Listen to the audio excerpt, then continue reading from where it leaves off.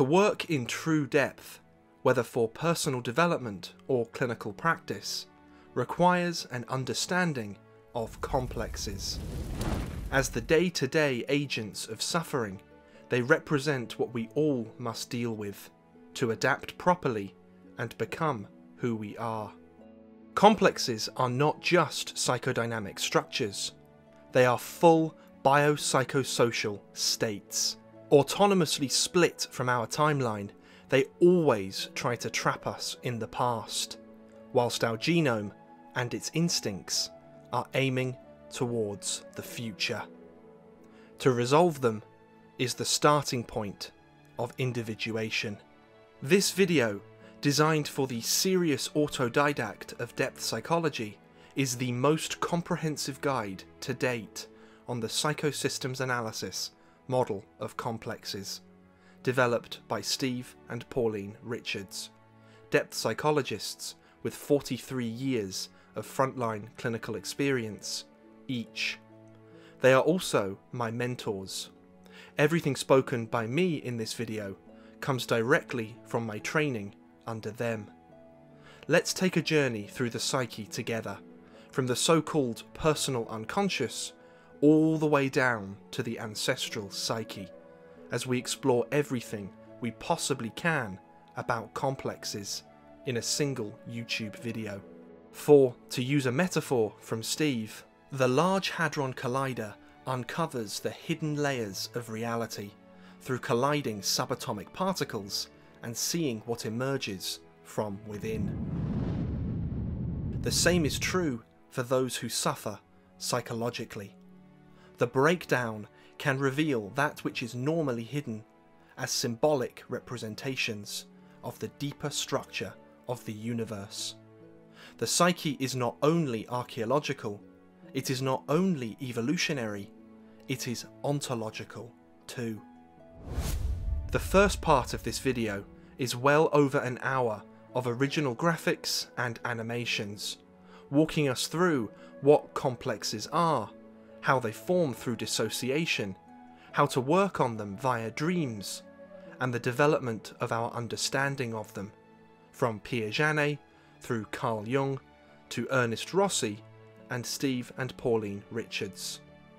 We'll be covering both Janaean complexes, the agents of neurosis and psychological suffering, and deep structure complexes, the metaphorical gatekeepers of the deep structure psyche. Part 2 is an original dialectic with Steve and Pauline about how someone can begin to resolve complexes. The preparation needed to give the best possible foothold for personal development or working with complexes clinically.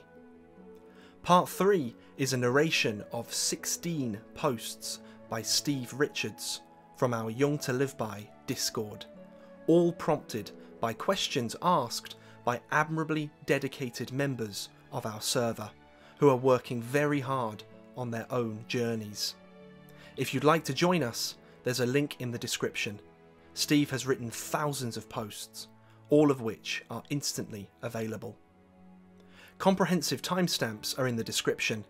Allow this video to be a hyperlinked handbook, something to return to in chunks as and when you feel you'd like to.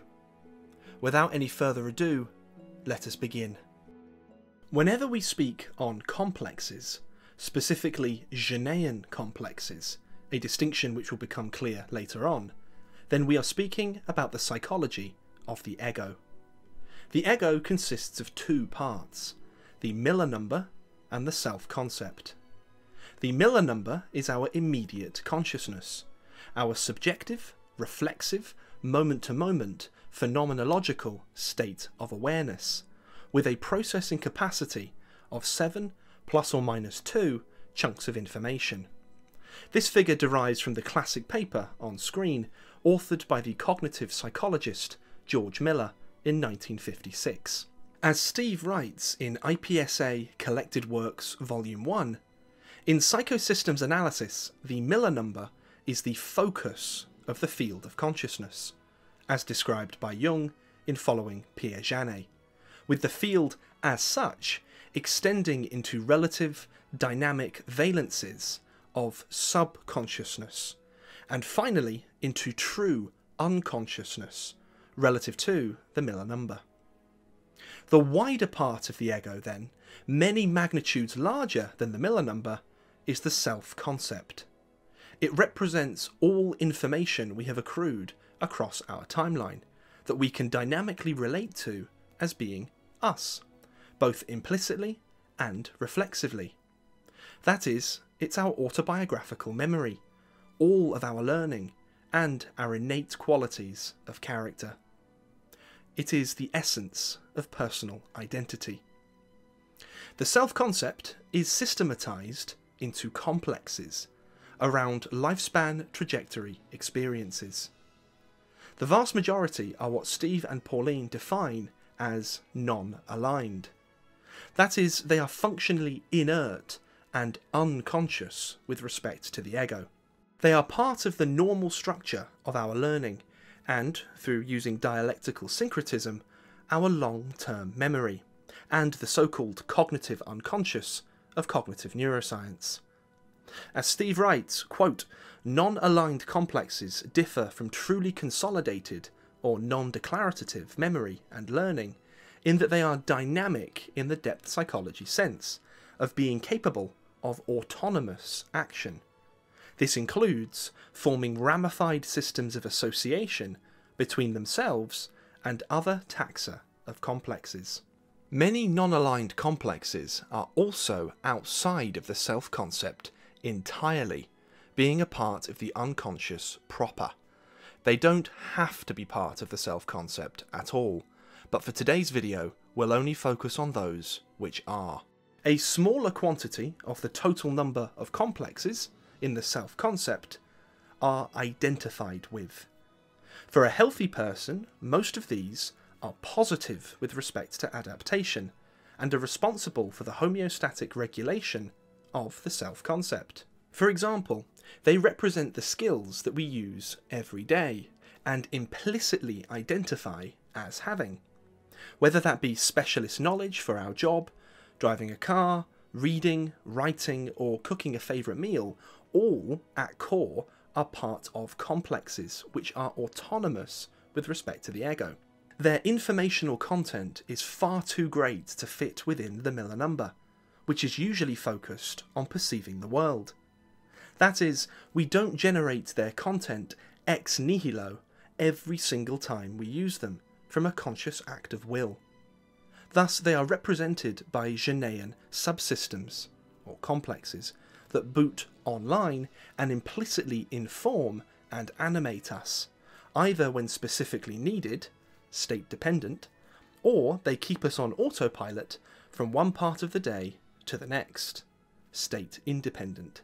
This implicit nature of their relationship to the ego is why they are classified as identified. The ego does not challenge them and sees them as being itself. To help us see the difference between non aligned and identified, let's take the example of a skill which we haven't used in many years, perhaps riding a bike. This is very likely to be represented as non-aligned, that is, inert and unconscious with respect to the ego. When the time arises where it could come in useful again, so we want to ride a bike again, the self-concept is fully capable of accessing its stored informational representation from across our timeline and utilizing its positive perseveration to bring it forward from non-aligned to identified. Suddenly, we can ride a bike again, and implicitly identify as being able to do so. Hence, in psychosystems analysis, no complex is considered as truly inaccessible, non declarative memory. Empirical experience from Steve and Pauline show that such a neuroscientific category is likely an artifact of the fact that non aligned complexes are both unconscious with respect to the ego and can operate autonomously. In reality, we can alter them through the psychodynamic process of the moving taxa, through updating our skills, or through allowing them to simply decay over time. There is a third and final taxa of Janean complex that we can bring in now aligned. With these, the ego is aware of their existence, but does not identify with them as being part of its tacit self concept. Aligned complexes are in a state of discriminated association to the ego, and very often vary in a waveform pattern across time in magnitude of activity. When we come to speak on the nature of pathological complexes, it will be important to bear in mind that the aligned taxa very often cause the most conscious distress to an individual. This is because they impress upon the ego with a certain quanta of energy, but they are not fully integrated. An example of this is an aspirational ideal, a standard that we compare ourselves to but do not reach, which may have a positive motivational quality to it, but at the same time it saps energy from the ego, as it's always critical of the ego's current state. In this example, the aligned complexes in question would be associated to the moral complex, or superego, which we've spoken on in previous videos. Whilst we're exploring the self concept, it's worthwhile to give a mention to the persona. The nucleus of the persona is a specialised complex within the field of consciousness. Everybody has one. It's informed by our learning and informs our behaviour autonomously, that is, not through an act of conscious will. The dynamics of the persona are very often state dependent, varying based on immediate psychosocial variables, and it can become temporarily modified in real time by the activity of other active complexes within the self concept. As Steve writes, quote, the persona as a psychosocial interface system is properly understood as being co created by our social interactions and by our intentionality to act in the world. Much that is learned psychosocially is committed to long term memory and to complexes that have formed around our experiences. Motivational drives play a part, but overall, we are not usually invested enough in terms of ego consciousness and its limited capacity Miller number to be fully conscious of our persona as the membrane interface between ourselves and the world. Someone can be relatively completely unconscious of their persona, either through it being identified with, hence not normally demanding of reflexive examination, or through its core being further away in valence from the ego. This, then, is our map of the self concept, as defined by Steve and Pauline. In short, it represents the through line and continuity of self over time, including everything that has accrued around it, both positive and negative, and intrinsic and extrinsic. In short, we can think of it as our default setting in terms of reflexivity. The self concept is overwhelmingly unconscious most of the time with respect to the Miller number. However, its complexes are conscious unto themselves. One way of relating to what this means is through Pierre Janet's concept of the subconscious, put forward in his 1889 PhD thesis, Psychological Automatism, which had an enormous impact on the psychological sciences and Carl Jung. Being a philosopher, psychologist, psychotherapist, and from 1893 onwards a medical physician, Janet's work explored the structure of the mind from a clinical perspective. His formative psychological investigations from 1883 to 1888 were for the purposes of studying, quote, human activity in its simplest and most rudimentary forms. To get an angle on what this means, we should note that many of his peers at the time considered such rudimentary forms, that is, activities pertaining to the unconscious, as being simply mechanically automatic. That is, everything that was not immediately identified as conscious, as per, for example, the Cartesian awareness of thinking, was instead purely mechanical, not conscious. Many people today have the same impression. There is a normal identified with waking consciousness, and then there is the unconscious, lacking consciousness. Janet disagreed with this, stating that human beings, of course, had automatic tendencies, but that these were simultaneously psychological, and hence conscious in their own way. Through working with various hypnotic methods on individuals suffering badly from psychosomatic neurosis, or hysteria at the time, he created via observation his own theory of the mind, which would lay the indispensable foundation for Jung's much later theory of complexes, described in detail in the second volume of his collected works, Experimental Researches and therefore, too, the theory of complexes in psychosystems analysis. Janet described the psychological automatisms he was investigating, non willed phenomena, as being subconscious. That is, not unconscious, nor at the focus of the field of consciousness, as he termed it. Instead, they were dissociated from normal consciousness, but nevertheless had a form of consciousness of their own. He noticed that at the root of the suffering of those he worked with was invariably something he termed subconscious fixed ideas. These usually formed at some point in the past, due to a dissociation caused by a traumatic or an otherwise very frightening experience, always due to mental weakness, in his terms, which would then remain as a source of persistent mental weakness. In psychosystems analysis, this would be described as ego strength. Steve and Pauline would describe this as a state of lowered ego strength being the initial condition for a complex to form, and reciprocally, the pathological complex activity weakens ego strength in the present.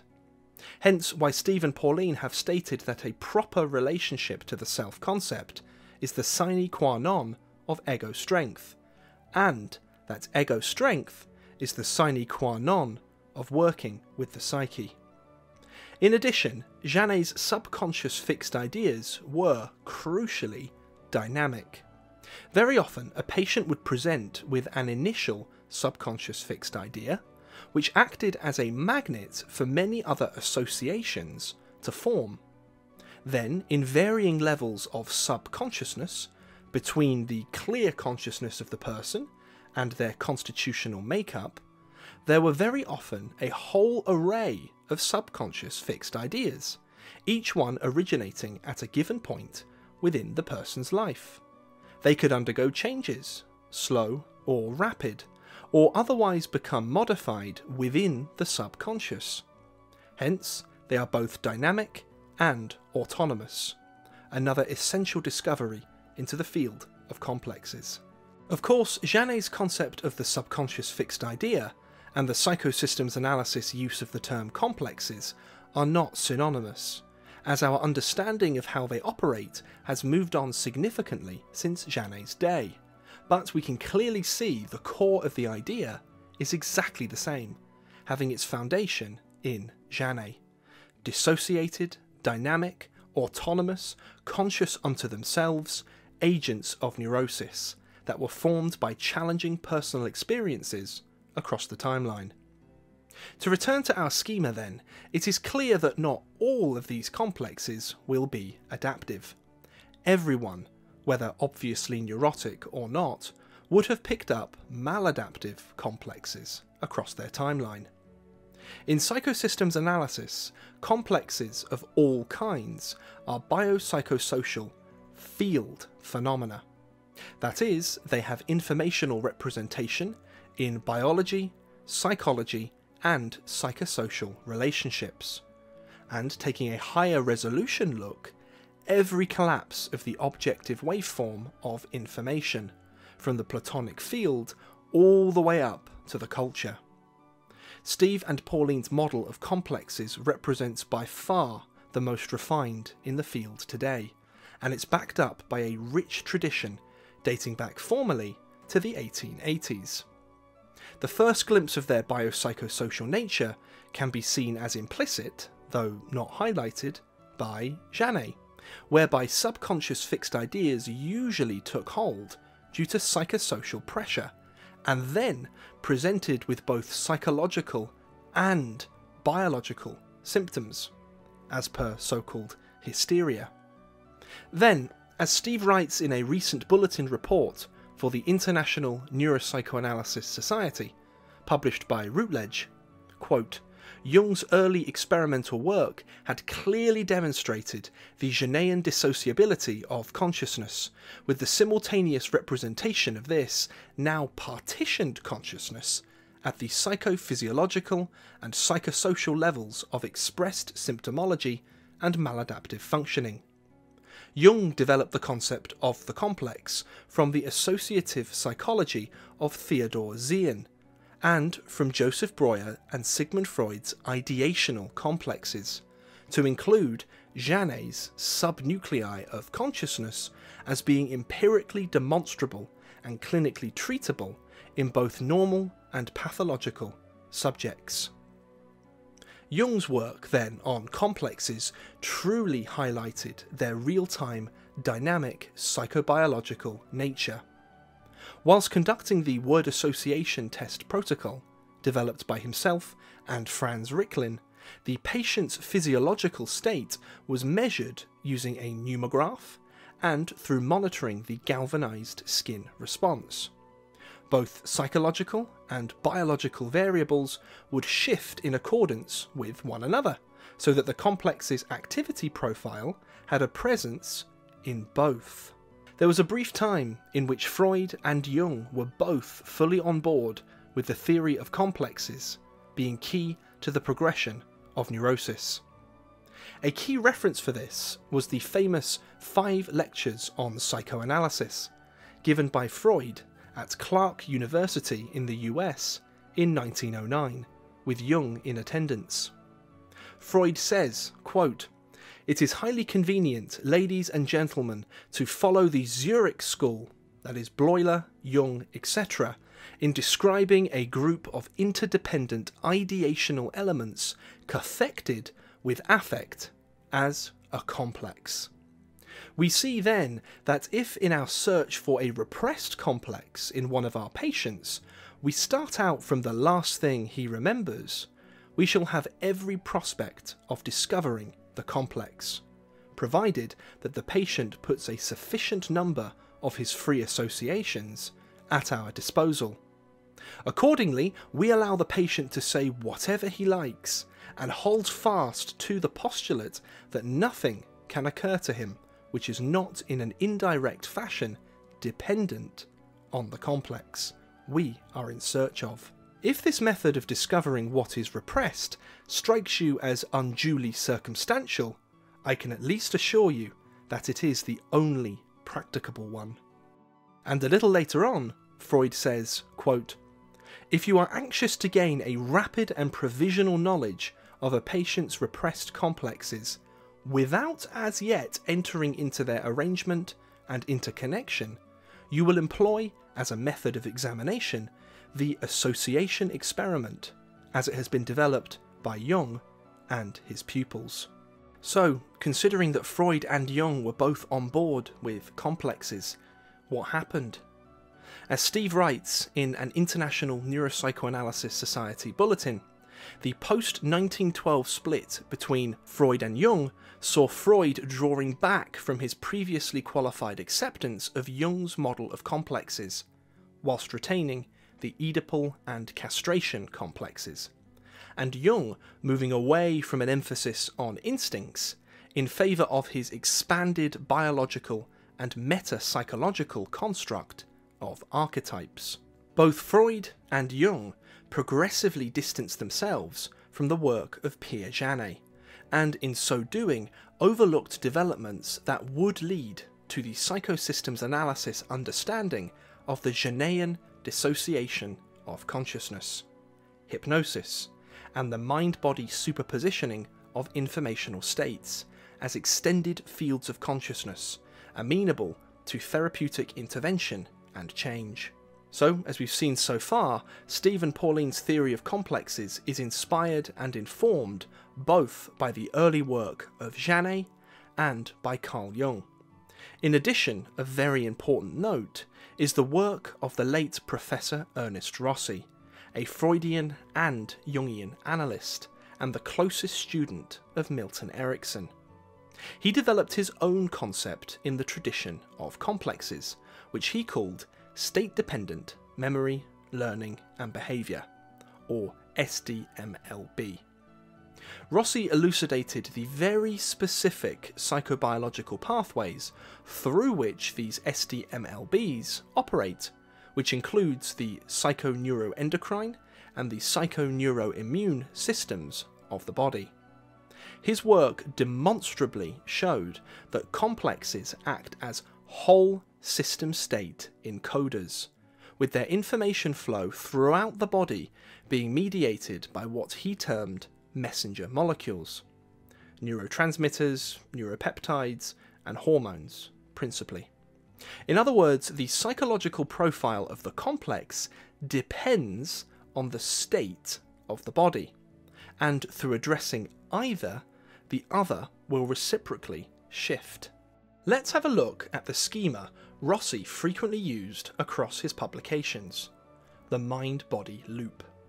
He considered there to be four stages of a mind body cycle of communication, and I'll quote from his paper, The Genomic Science Foundation of Body Psychotherapy, published in 2004.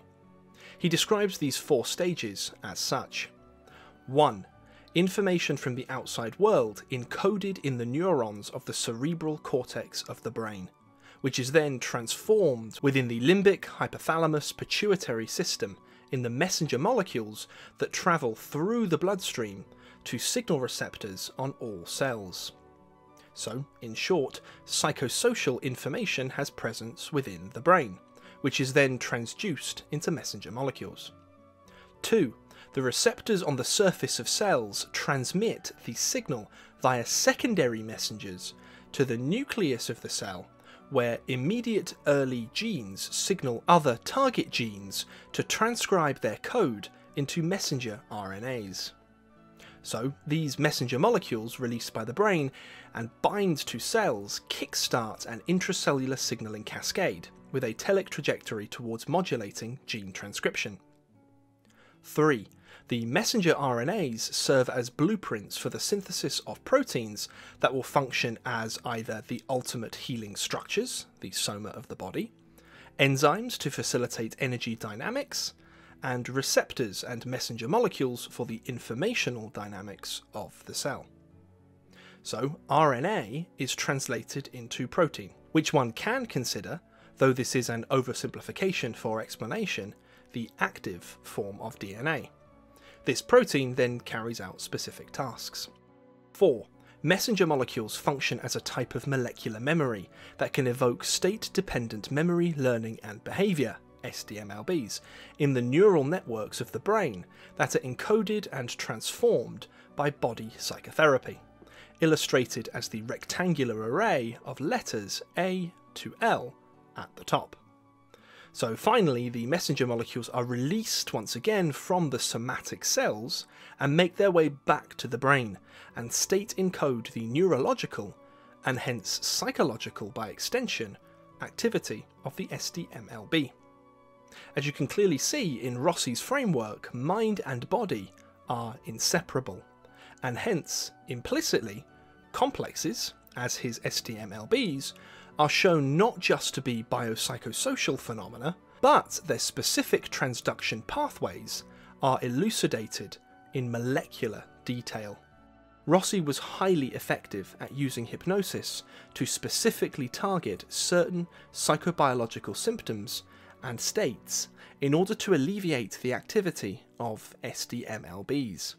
He was an inspiration to Steve and Pauline, and he personally supported their development of psychosystems analysis, including working with them on highly complicated clinical cases implicated with significant psychobiological symptoms. In 1990, at Charing Cross Hospital in London, Steve and Pauline introduced clinical capnography and the Charing Cross method into NHS primary healthcare, specifically the psychotherapy, hypnotherapy, counselling, and stress management provisions. Pauline had already been using capnography in psychiatry since 1989. Capnography was, and still is, a highly effective means of diagnosing hyperventilation and burnout syndrome. For reference, on screen are three textbooks on the subject from 2002, 2011, and 2014. Capnography works like this. Using infrared mass spectrometry, the concentration of carbon dioxide in the breath during exhalation is measured and converted via an algorithm into a value that represents the partial pressure of carbon dioxide in the blood. CO2 in the blood is in the form of carbonic acid, which takes part in the blood's pH buffering system. This is kept at a very tight value of pH 7.4.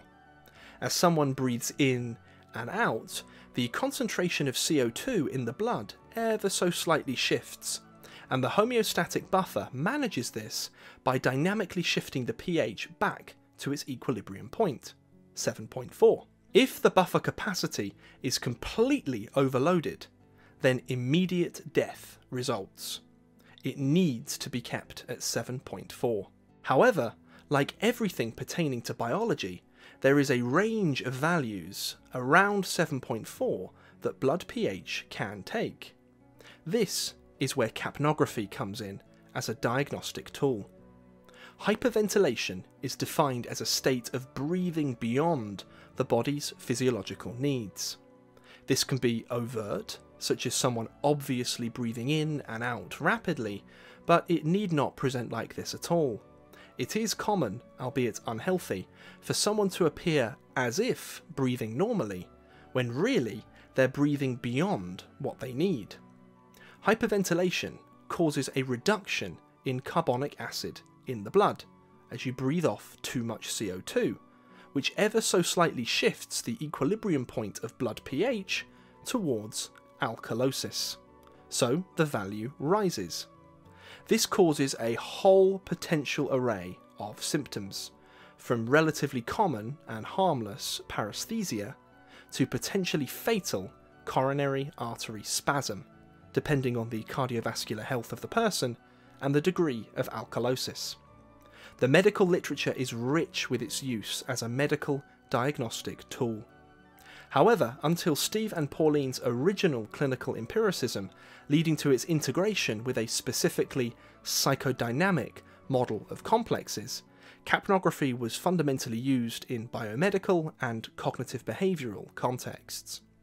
By using clinical capnography in conjunction with hypnosis, Steve and Pauline noticed that the partial pressure of CO2 would rise and fall in immediate accordance with the patient's psychological state, revealing not just their background physiological variables, but the nature of their complexes too.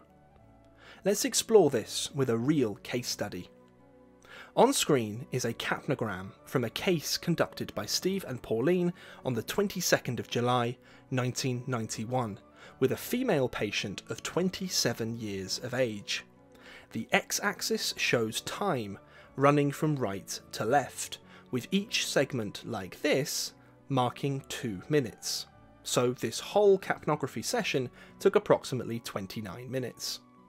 The y-axis shows the percentage of CO2, with each percentage corresponding to a value of 7.6 millimeters of mercury. The lower the millimeters of mercury, the more CO2 the person is breathing off, which, as we've said, is a direct indicator of the blood pH shifting towards alkalosis, hence a marker of hyperventilation, breathing beyond the body's physiological needs. At the time this case was conducted, any value less than 29 millimeters of mercury was considered frank hypocapnia, with the normal range being 35 to 40. Steve and Pauline consider this too harsh a cutoff, but regardless of this, it is very clear to see just at a glance that this individual's CO2 is fluctuating chaotically, with the vast majority well beneath any reasonable cut-off point for frank hypocapnia. Wherever you see dark shading, this is indicative of rapid breathing. The chart strip pen was moving so fast in correspondence to the breath cycle that it was literally just writing over itself. If we start from the right hand side, this point here shows the first breath detected by the capnograph. In this initial rest period, so just the capnograph detecting breathing at rest, you can see that the CO2 more or less immediately dropped into chaos. So this individual was clearly hypocapnic at rest. This state on its own is sufficient for many psychosomatic symptoms to develop and progress. Then, as was standard practice at the time, though Steve and Pauline soon after dropped it completely, as it isn't needed, the patient was asked to go through a forced hyperventilation provocation test for two minutes. The purpose of this was to sensitize the person to hyperventilation for a brief period of time so that what would otherwise be very small changes in CO2 would be magnified in value, making psychophysiological rate of change easier to detect. As you can see, as expected, the CO2 drops, literally because they are hyperventilating. The patient is then asked to report when their breathing feels normal again. That's the MBIN, my breathing is normal, in the notes at the bottom. They say their breathing is normal here, despite a frank hypocapnic CO2 reading, meaning that they were positive for what was called failure of perception of hypocapnia. In other words, this CO2 should not be felt as normal. Hence, this is indicative of a level of dissociation. A failure of perception of hypocapnia was synonymous, for Charing Cross at the time, with the sensitization that was aimed for through the forced hyperventilation provocation test. However, Steve and Pauline found, as we mentioned a moment ago, that the test wasn't needed. Therefore, it is entirely possible, through the psychodynamic process of dissociation, for someone to believe that their breathing is normal when in fact it clearly isn't, without any need for forced hyperventilation to try and draw these results out. So wherever you see MBIN on screen, you're seeing dissociation. Then Steve moves into the think test. This is exactly what it sounds like. The patient is asked to think about a certain aspect or occurrence in their lives, selected before the session, and the psychophysiological response is measured by the capnograph. For the first think test, trouble at work, the CO2 value rises away from the restored baseline, being no longer chaotic, but then the breathing starts to grow rapid and the chaotic pattern of breathing returns. Then they're asked to report when their breathing is normal, marked here. Then the second think test, for parents. Again, you see a fall in CO2 followed by a brief rise, then a fall before the patient is asked to report when they feel their breathing is normal again. This section, interestingly, also picks up a breath holding pattern from the patient, represented here by an incomplete line, literally an unfinished breath. Then, for the final think test, abortion, there was a massive collapse in CO2 value, marking a strong abreaction. You can see the continued fall all the way down to beneath 7.6 millimeters of mercury. Charing Cross would have said this person was at immediate risk of coronary artery spasm or any number of potentially fatal cardiovascular events, like stroke. The think test for abortion had revealed very starkly that the etiology of her complex, causing the respiratory alkalosis, was an abortion that she had had, which she had been unable to understand at the level of instinct. The dissociation between genomic pressure and the ego had created a psychobiological state, very similar to what we saw when looking at Rossi's work a moment ago, which was literally synonymous with the formation of a nucleus of a complex. Instead of being homeostatically cleared away, the stress of the abortion had perseverated from ego consciousness and remained, like a Janean subconscious fixed idea. Albeit, as is very clear to see, complexes are not just ideas, they are full biopsychosocial states. This state was fully activated by the mention of abortion. To restore the patient's breathing back to normal, Steve began a hypnotic induction, which you can see start here. Immediately, there's a huge rise in CO2, back up to roughly the patient's resting value, followed by a brief period of chaos as the abreaction perseverates, de facto attempting to resist the hypnosis. Then the hypnosis kicks in, and you can see that trance state maintained for five minutes, with by far the most normal, regular breathing on the chart strip recorder. The hypnosis had encouraged homeostasis, turning the acute complex state off, and she was back to normal. In the left hand side results box, you can see that this individual was positive for chronicity or arrhythmia in breathing, positive for failure of perception of hypocapnia, positive for all three of the think tests, and positive for presenting symptoms.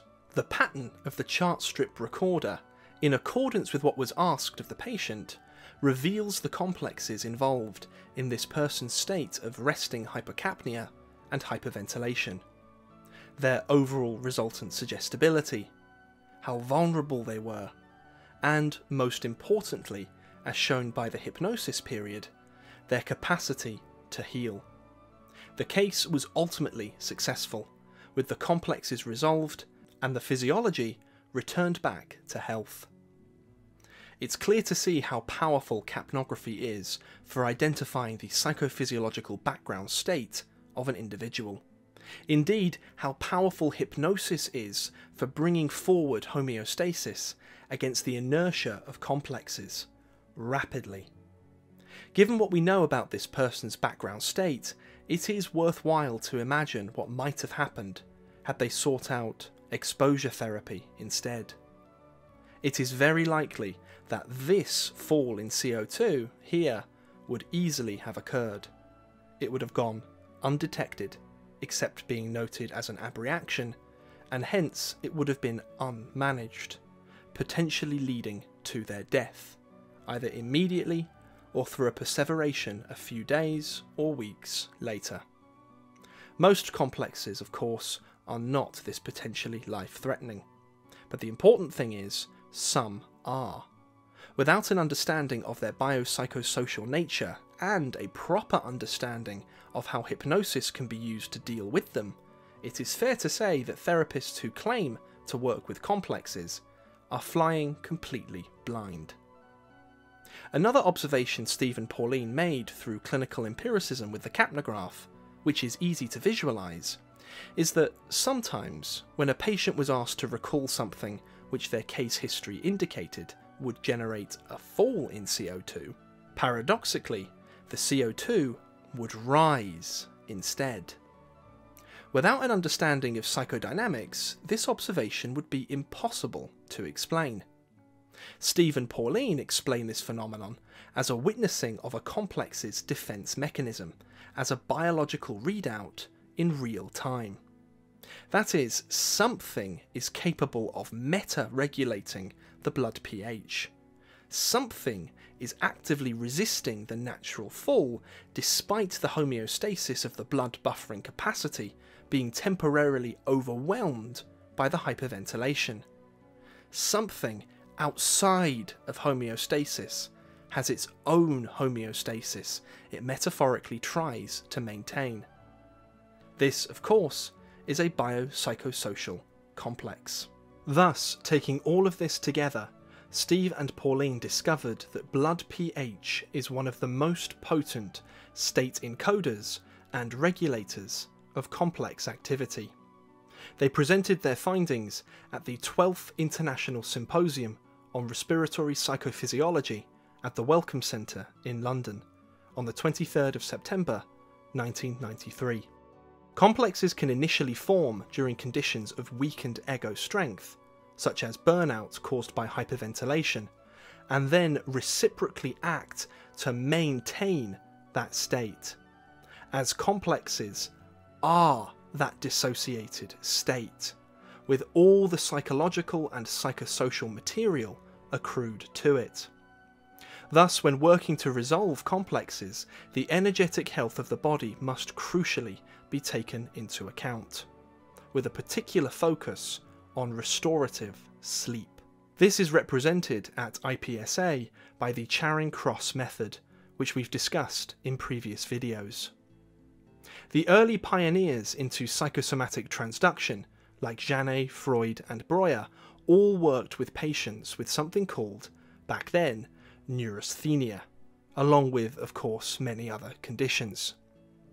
This neurasthenia was a state of fatigue, anxiety, depressive mood, and other somatic symptoms, like headaches and heart palpitations. Janet later preferred a term he coined to describe the same state, psychasthenia, to emphasize that this syndrome had a psychological etiology rather than a neurological one. So, as we'd say today, psychological factors transducing into the body. It is worth considering, as Steve has pointed out before, the understanding that Janet could have made about psychasthenia, and therefore complexes, if he would have had access to capnography.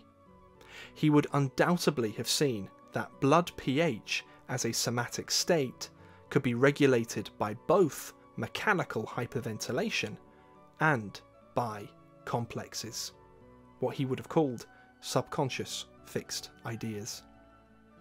So we have seen that complexes are clearly best described as biopsychosocial phenomena, with their own dynamic homeostasis that they metaphorically try and maintain. When pathological, their setup instructions always run contrary to the telic intentionality of the lifespan.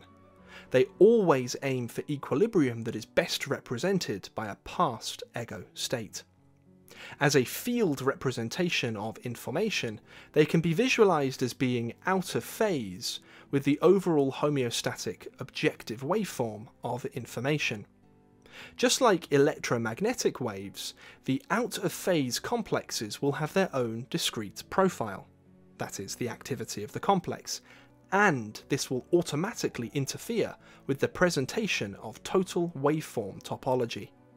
The peaks will interfere with peaks and troughs with troughs, so that, as shown diagrammatically, very often the whole of the person's life is affected, and the potential of the person is in conflict with its total available free energy. One field informational representation to definitely note is their clear Sheldrakean aspect. Steve and Pauline have observed that complexes, as a form, are a discrete material representation of a discrete nested taxa of morphic field, meaning just as human behaviour is subject to formative causation, as per Dr. Rupert Sheldrake's model, so too are complexes. Steve and Pauline have witnessed many times that the complexes of people who they had never met before seemed to recognise them straight away more and more as their decades of clinical experience progressed. It's as if complexes had a shared form based memory impression of their previous encounters with them, or at least with therapists as such. This extends to something essential discussed in our recent Terminal Lucidity and Rebirth series. The current field strength of certain complexes is bolstered by the influence of Sheldrakean formative causation.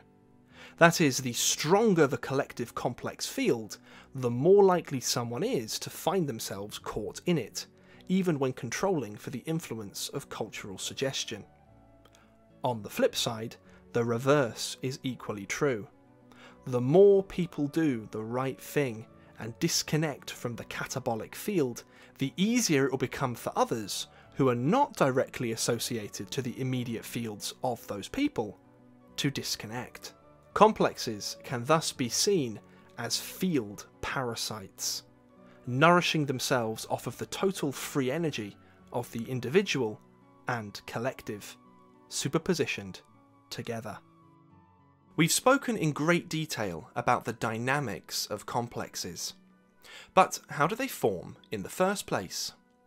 We know so far that dissociation under conditions of lowered ego strength is the ground state. Let's build on this as we explore Steve and Pauline's full elucidated mechanism. Human beings, like all animals, are under adaptive pressure from the environment. Specifically, with us, our psychosocial world, which is by far the most complex out of any species on the planet. Crucially, too, we're also under adaptive pressure from within. That is, the genome is always producing instinct, with the telic intentionality for its release into the world. The ego's proper role is to feel this instinctive intent, equivalent to Freud's pleasure principle, and allow its release into the world in an adaptive fashion, Freud's reality principle.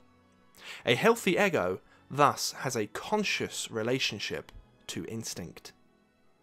Dissociation comes in then as an evolved means of preserving the tight homeostatic boundaries of the self concept under conditions of significant adaptive pressure. Like any discrete structure, the ego needs to be protected. When that protection needs to be immediate, such as from immense instinctive pressure initiated by a stressful environment, then dissociation is the means by which this takes place. As Janet noted, dissociation of the field of consciousness is a normal, healthy phenomenon. It's quite common for many people to mildly dissociate at different times of the day. Drifting off into a daydream or a reverie whilst being tired is perhaps the easiest to notice. In psychosystems analysis, when the ego spontaneously dissociates in order to protect itself, then this is called partitioning of the ego. To preserve the integrity of the self concept, the ego devolves responsibility for dealing with an unresolved situation or conflict over to a subsystem of itself. Not a full complex, but an active partition of ego consciousness, independent to the Miller number nonetheless. This is common, especially when ego strength is lower, such as is the case, for example, with children. Natural homeostasis, especially through restorative sleep, tends to clear away many of these partitions soon after they form, so that they don't remain longer than needed. However, if the ego voluntarily suppresses or unconsciously represses this Janean partition, then it is likely to go on to form a full, stable complex. As Steve writes in IPSA Collected Works Volume 1, quote, suppression in this context defines the ego's partitioning of itself as a conscious act of will. Having devolved responsibility to a subset of itself, the ego then gradually moves into a state of normal memory consolidation, as it forgets what it has done in setting up the complex. Complexes require free energy, or libido, to operate as part of the overall energetic and metabolic economy of the organism. The loading is not significant until the complex in question transitions from being suppressed into repressed. Repression in this context means that the complex has escaped from being broken down into free energy, so deconstructed by natural homeostasis, or transitioned into a dormant, with respect to the ego, non aligned state. Consolidation into long term memory, too, has failed. Instead, repression has meant that the complex has retained the brief that it was created for to defend the ego. But lacking regulatory contact from the ego, it's now in a state of full autonomy. An independent psychodynamic system that will act to defend itself and its setup instructions, as laid down by the conditions under which it was originally created.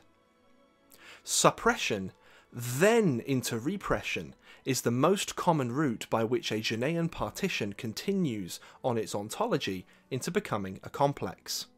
However, it is important to note that this is not always the case. Sometimes only repression is involved, depending on the immediate conditions in which it formed and the ego strength of the person. Regardless, the psychodynamic ontology is clear and definitive. So, given the formation of a complex, what happens then?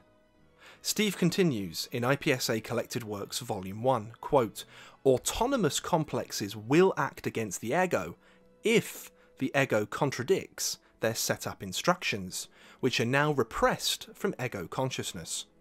The result can be a psychological autoimmune attack on the ego, which then experiences a powerful neurosis, literally being at war with itself.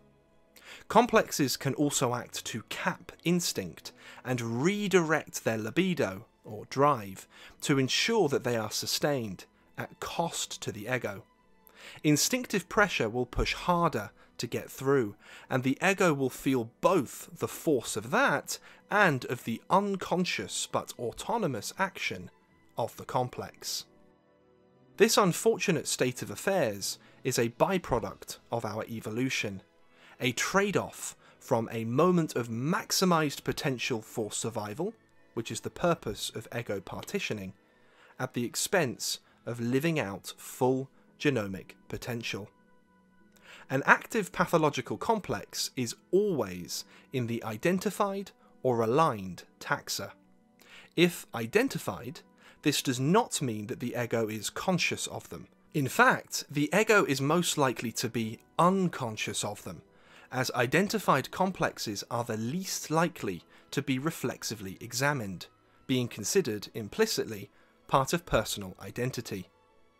If they are aligned, then the ego is conscious of their presence, but is still impressed upon by them. Regardless of taxa, pathological complexes will fight to maintain their homeostasis, fundamentally to keep their role of defending the ego. Steve and Pauline have observed that they do this through many common means, including attempting to shift into the identified taxa, reconstituting past ego state adaptations to maintain their innovation by instinct, co opting cognition so that thinking through a problem leads towards their confirmation, slipping into conversation for someone else to confirm their purpose and role, and many more. Regarding this last one, when a person passively allows a complex to speak through them and those words remain unchallenged, then the complex has de facto confirmed itself. See, the other person implicitly agrees with what you've just said. There's value to it, therefore. I have use, therefore. Because pathological complexes form through this specific Darwinian ontology, they tend to have a higher valency than our gradually built up so called positive complexes, such as our skills. They have more potency and more easily disrupt us than can their positive counterparts inform us or animate us. Now we know how complexes form and their dynamics of action, let's move into some immediate practicalities. How can someone become more conscious of their self concept, and therefore their complexes? After all, the self concept is overwhelmingly unconscious most of the time. So, what can someone do? As a comprehensive area of potential reflexivity, let's explore the appearance and role of complexes within dreams. Jung stated that complexes were the architects of dreams. We know today that this is not true. How could Janean complexes possibly have the resources to produce a dream? Active complexes are always localized to the field of ego consciousness, and thus are relatively superficial compared to the metaphorical depths of the psyche. The truth is, as an essential insight from Steve and Pauline, just as the dreamer cannot resist being pulled into a dream narrative, neither can complexes, if they are of the identified taxa. The dreamer is obliged to read a script. So too are the identified complexes. Why is this the case though? Steve writes in IPSA Collected Works Volume 1, quote, Dream narrative experiences involve a transition between the ego's self-referent identity in a waking state to that of being fully immersed in the dream. The self-concept provides continuity between those two states. In a dream state, the dream ego therefore identifies with the waking ego. Everyone can pressure test and explore this with their own dreams. In a dream, we feel like ourselves. The I of self referent identity is still present. Minus the reflexivity of waking ego consciousness, the dream ego acts out and experiences a clear and rigid emphasis on a certain part or parts of the self concept, as evident in the dream settings, characters, or experiences that unfold. Hence, those complexes which we identify with as being us, both implicit parts of the self concept and Janean complexes, are drawn into the dream narrative because the self concept is shared in common between the waking ego and the dream ego, with the latter identifying with the former. By means of a quick note, Steve and Pauline have stated that the phenomenon of lucid dreams, whereby the dreamer is supposedly conscious and has creative agency over how a dream plays out, is very likely to be, as evidenced by the identification of the dreamer with their dreaming experiences, the result of the waking ego identifying with the dream ego. So, the reverse of what we said a moment ago. That is, the apparent presence of control is not real, but instead a metaphorical narrative device to emphasize a certain qualia of pertinence of the meaning of the dream for the waking ego. So, in a dream, there's the dream ego and some of the ego's identified complexes.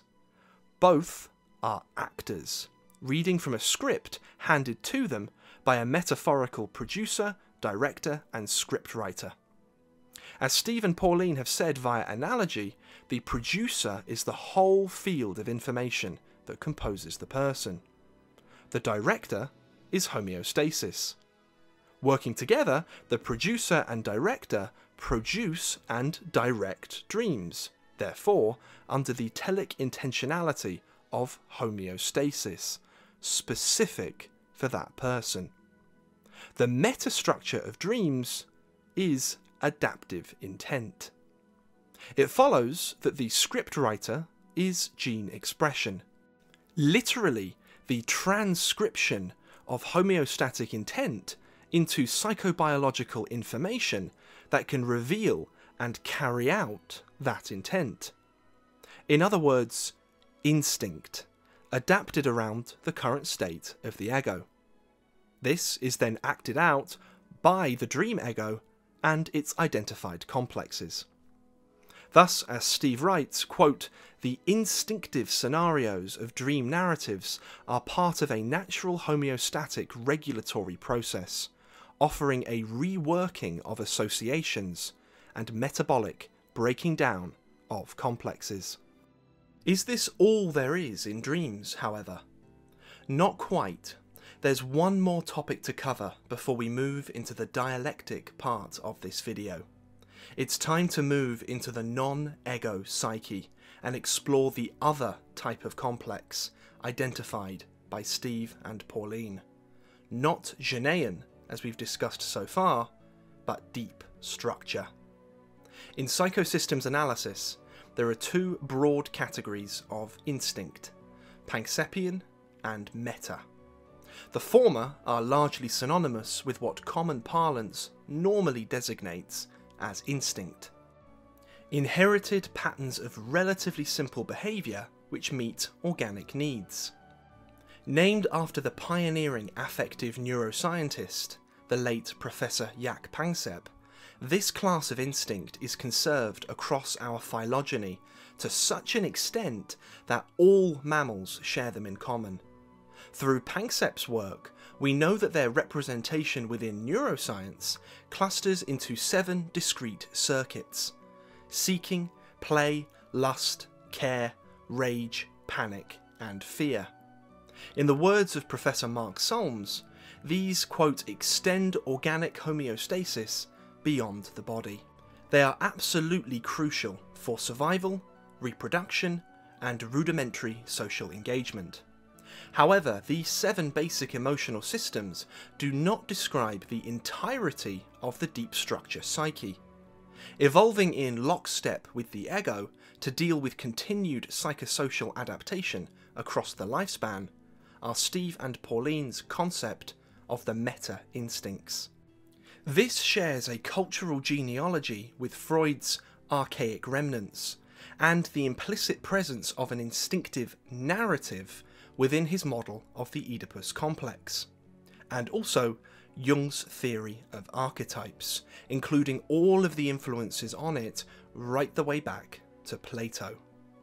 Meta instincts are produced from the genome, and after any modification from Sheldrakean field effects, organise the narrative structure of our lifespan. They don't fire out onto immediate stimuli or opportunities like Pankseppian instincts do, but rather adapt us to the arc of life itself. In short, meta instincts give the human context for the Pankseppian instincts. Pankseppian instincts can never be switched off. Once they develop to maturity in adolescence, they're there to stay.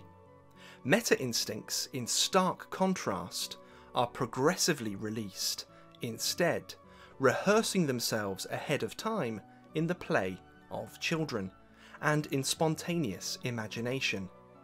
This is crucial.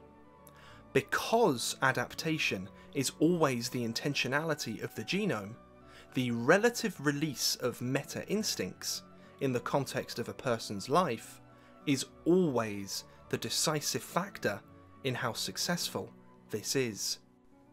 If we return to dreams for a moment, both class of instinct are present in the dream's narrative structure. In addition, meta instincts can take on the form of a character, an image, an actor just like the ego and its identified complexes. However, not as straightforwardly. How we interpret and relate to this is decisive for personal development. In pop Jungian psychology, certain images of this kind are often described as being archetypes the wise old man, the anima, the animus, the self, etc. When encountered online or in the culture, however, they are nothing more than collective representations, completely and obviously detached from one's personal ecology. Images of this kind only get imbued with significance via projective identification, which, if not worked through dialectically, very often remains as a fantasy trap, putting the ego's development in stasis. Hence, Jung dropped his famous habit of drawing mandalas after his Liverpool is the Pool of Life dream in 1925, which we've previously made a video on. Let it be said, images in the culture are not archetypes or meta instincts. If images of this kind, so called archetypal images, spontaneously appear within, however, this is a different story.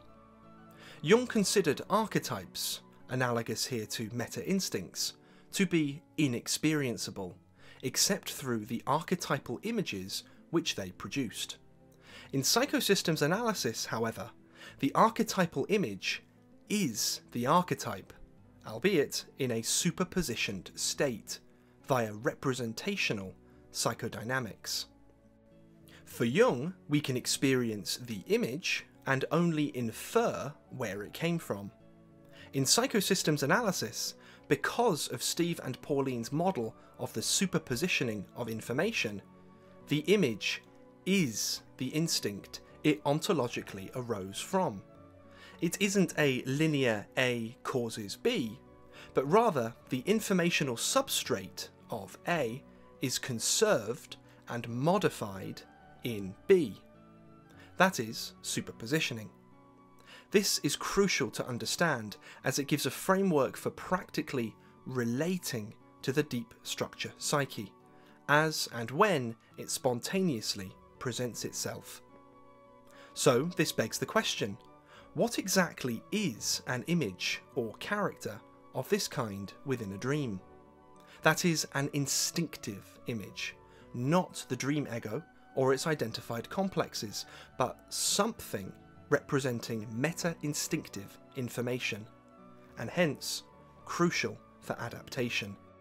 Well, as an actor, it's still obliged to read the script handed to it by the producer, director, and scriptwriter. If we decided to abstract the image out from the dream, clearly it loses all of its context. By analogy, the same is true of characters in a movie. As Steve has said before, if we remove Gandalf from Lord of the Rings and dropped him into a soap opera scenario, he'd be related to by this new context in a completely different way. He'd cease to be a guide to Frodo and instead become a strange joke. Thus, an image can never encapsulate the entirety of an archetype or meta instinct. The image is always superpositioned with it, but is not self contained. It always needs a context. This context, the narrative, plus the image or character, represents the net superpositioning of the meta instinct within a dream or piece of creativity, always taking on a representational form that the ego has a chance to relate to. Now for the final classification of complex.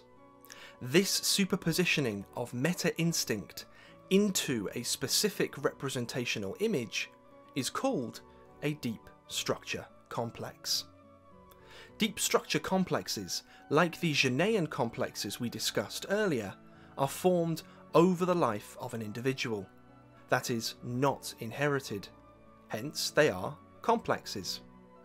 Janean complexes originate in the ego through dissociation, ego partitioning, then consolidation into an autonomous agent of neurosis. Deep structure complexes do not. They are much deeper in the psyche, metaphorically beneath the ego, facing up towards it, and superpositioned with a meta instinct. They are in dynamic homeostasis with both the meta instinct and the self concept of the ego, so that its current representational form depends on both. The meta instinctive component represents the genome's anticipation of its own unfolding across lifespan development, with the top face meeting the ego where the ego is currently at in terms of development, maturity, insight, and understanding. So, deep structure complexes are dialectical mediators of information between the ego and the instinctive psyche. Their existence is for the purpose of learning more about ourselves so that we can make positive progress in our adaptation. This always has to be incremental, so that the homeostasis of the self concept is maintained. Hence, we cannot just look inside and access undistilled meta instinct. Not normally, anyway. It would be too much, and the ego wouldn't learn anything except be overwhelmed by affect, not having gone through the necessary steps of insight to utilize it. When we look inside, then, we first of all see our own self concept with its identified complexes. Going deeper, we will meet with a deep structure complex. These always mirror back to the ego what the non ego psyche, the so called unconscious, genome, or wider field of information, thinks about the ego. It's metaphorically saying, Look, this is what you are like. This is what you're doing to yourself. Here's an angle on you. How the ego relates to this is crucial. Steve and Pauline have introduced the psychodynamic of internal projection to describe the tendency of the ego to project itself over the contents of the non ego psyche. If the ego looks inside and interprets everything it sees as if itself or an extension of itself, then it is internally projecting. The non ego psyche is not the ego. If someone informed by pop Jungian theory looks inside, or has a dream, and sees an evil shadow figure, a radiant anima figure, or a mandala so called self, they're very likely seeing a deep structure complex, mirroring back to the ego what it is from the perspective of the non ego psyche. In this case, it would be the fact that it is identified with a theory laden framework saturating the self concept, which encourages a fantasy escape away from real world adaptation, something the genome would not see as beneficial whatsoever, and hence needs to be pointed out to the ego through a deep structure complex. To take this as a confirmation of the theory, instead, is internal projection.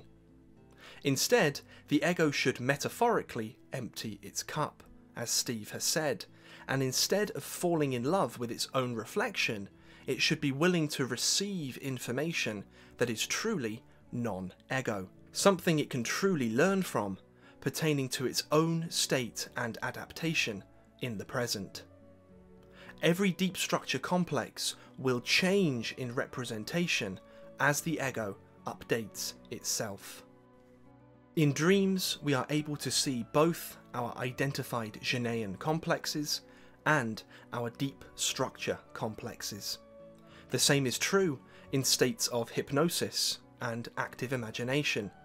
The latter, unfortunately, reifies both class of complex, and hence is not recommended, whereas the former, hypnosis, when conducted properly, allows a natural path to the meta instincts. Indeed, the same is also true in creativity, in particular creative writing. Just like dreams, complexes are pulled into the weave of the narrative. Deep structure complexes make spontaneous appearances, and the overall thread of the story represents telic activation of meta instincts and the resolution of complexes. Now it's time to move on to the dialectic portion of this video, featuring Steve and Pauline Richards, where we discuss how someone can begin to resolve their own complexes. One of the things that's really stuck with me about your guys' model of complexes and how it was developed is that it was clearly developed through practical experience. It wasn't a case of you learned a lot of theory, applied it, it seemed to match the world, and that was that. You built it up progressively through experience. And the same then is true for anyone who's approaching this material clinically or for personal development, insofar as the theory is great, the theory needs to be understood, but living it out properly and getting that experience for oneself is the crucial point. Without that, there might as well be no theory there at all for someone to know. That really stuck with me when you guys said that before. Thanks, James. So, the most important thing to understand is that this is a lived experience that we have to go through, which means that the worst preparation for experience is theory. Theory should come from experience. If we do it the other way around, in other words, if we lead with theory, then every experience we have will be filtered through that, and we're immediately at some distance from the lived experience of another person. And if we're working clinically, then the therapeutic relationship itself is determined by the theory, but it's not about that. It's a phenomenological issue. It's about not just presence in a passive way and not just active listening, for example, as you get from many counselors. It's, it's a complete presence as a field phenomenon. And your theory then is derived from that experience. And you have to critically evaluate your own involvement and engagement with things, set that against any kind of theory you may have had, and then update the theory. So the theory has to continually develop on the basis of experience. Of course, this is difficult at the beginning because none of us start out with having experience. We have to gain it. So some preparation is important. Um, we were discussing before, Paul and I, about how when we began our journey, particularly in frontline healthcare, um, our theory was pure Jungian, and it didn't survive the pressure test of engagement with reality. It had to be revised the more that we'd have pushed the theory, the more we would have pushed the other person away. That doesn't remove the psychodynamics which are present. They're there regardless of what we believe about ourselves or what we believe or model or whatever it might be, the experience that, that's going on in that room with that person and subjectively within their own psyche and of course subjectively within our own. These things are there anyway. Therefore, that's what we should be attempting to understand what is beneath the surface of our cognition, of our theory, even of the situation that we're in, whether that's in frontline healthcare or personal development, social interaction, wherever it might be. What are the true psychodynamics? And if we can't find that, we cannot do anything that's authentic. Yeah, well, I would agree with that completely. Um, theory has to be derived from practice ultimately. And in all of our clinical practice, and obviously that's quite extensive now mm. for us, we never introduce theory when we're working with someone.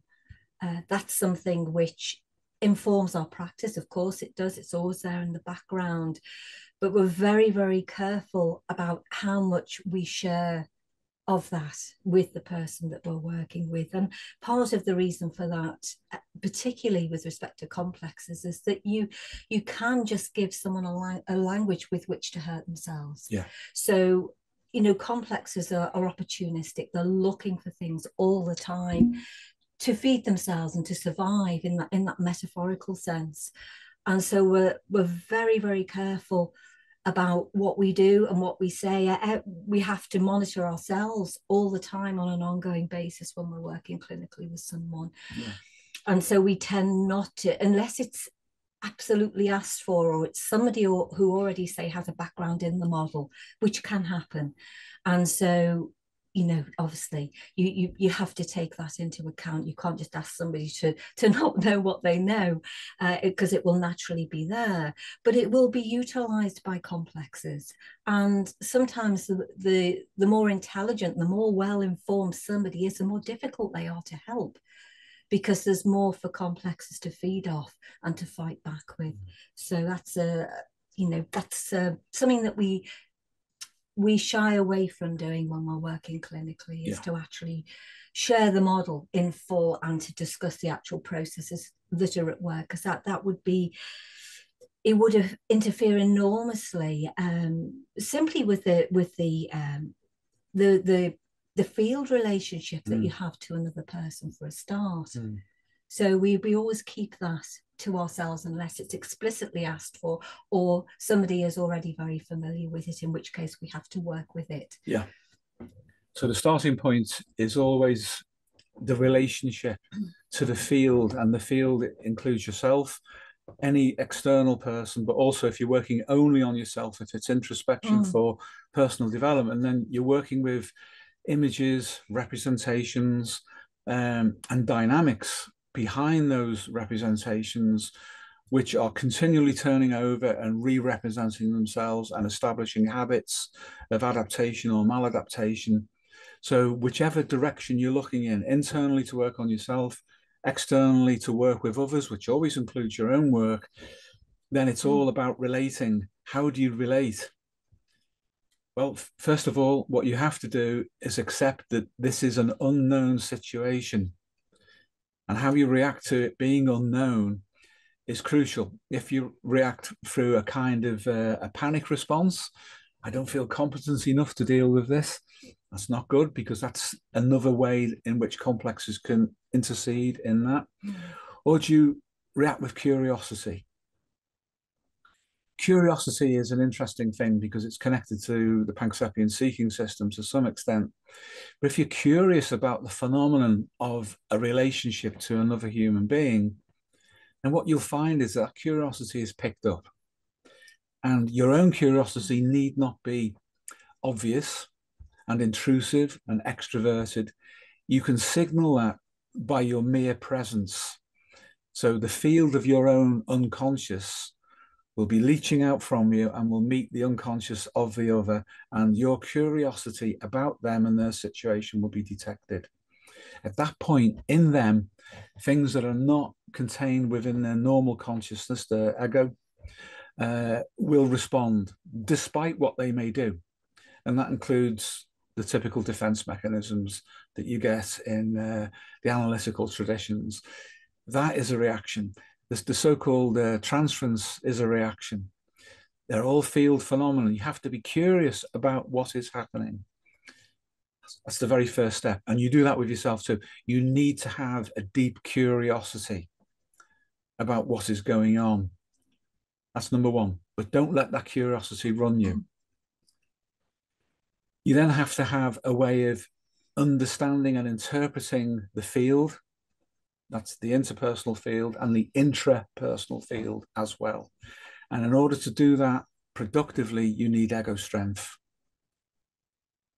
And ego strength, of course, as you know, we define principally as being homeostasis. That's to say that the ego is doing its job properly. It's functionally uh, balanced and, and in good working order. But it also knows where it begins and where it ends.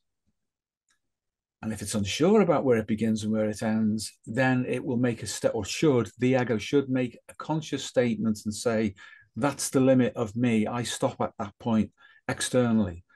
Internally, the same that's me. I can't go any further before this is actually not me anymore. This is something else which is representing itself to me.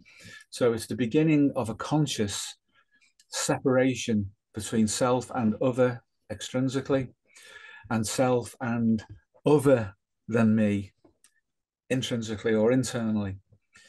That's the beginning of being able to set up a dialogue. If not, if our boundary is disturbed and, and we begin to identify either with things on the outside or the inside, then the ego gets invested by things that don't properly belong within it. And then processes like identification can occur, inflation, definitely neurosis, hysteria, all the usual things can all occur from that because there is a boundary issue internally and or externally. Well, that's a very important point, Steve. Uh, it makes me think uh, of, of our expression, uh, you know, what is within, so too is without, because a lot of complexes form under the, the, the, the pressure um, of influence and mm. suggestion from the outside. Mm. And depending on, I guess, how suggestible somebody is to um, to outer influences will to some extent determine the extent to which they are under the influence of complexes as well there tends to be yeah. a, a, relationship between those two things yeah. so you're absolutely right to talk about discrimination mm. uh, between ourselves and, and, and others and also um, eventually discrimination between that which is um, that those parts of us which of our self-concept which are healthy and adapted and those parts which are not so that we might mm. consider to be complexes but either way is a process of discrimination that is going on mm. both within and without and, and back again because it's interactive of course yeah, that's a really good point. And with respect, thanks, Paul, to the uh, the axiom "what is within, so too is without." Mm that's a reversible equation. What is mm-hmm. without is also within. Yes. And yeah. that's when we internalize things from the external environment and we then begin to populate our inner world with these representations through what we call internal projection. So it works that way as also the other way, which mm. would be that our nature, what it actually is, will express itself into the world.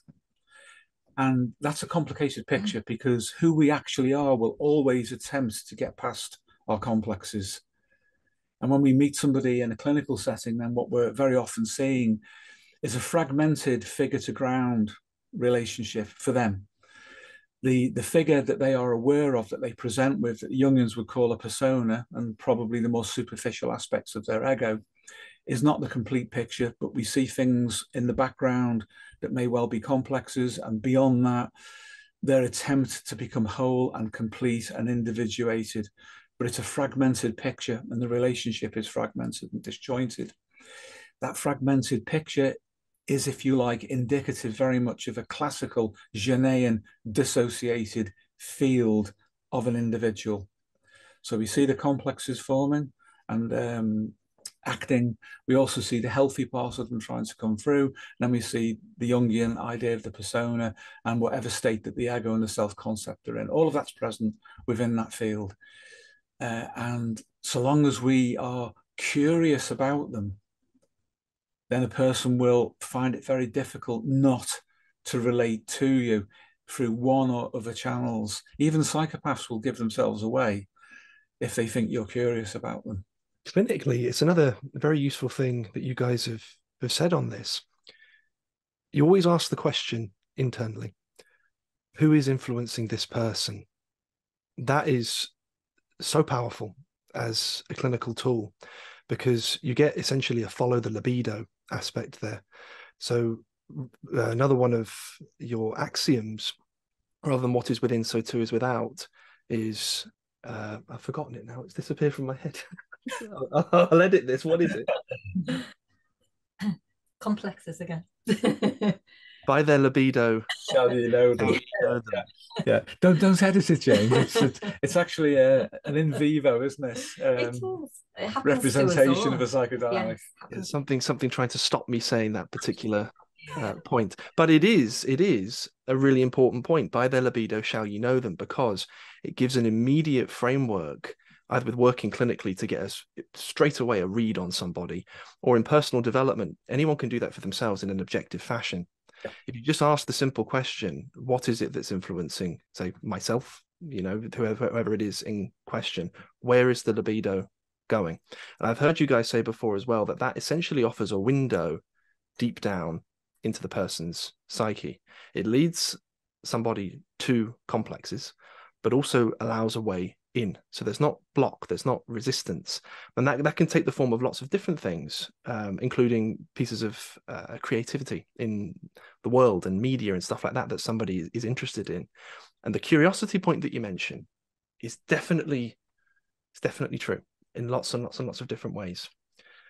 The the curiosity leads somebody. My my something is interfering in, in my in my head. it's there. It then just gets removed straight away. Curiosity. That was a really important point. Completely gone.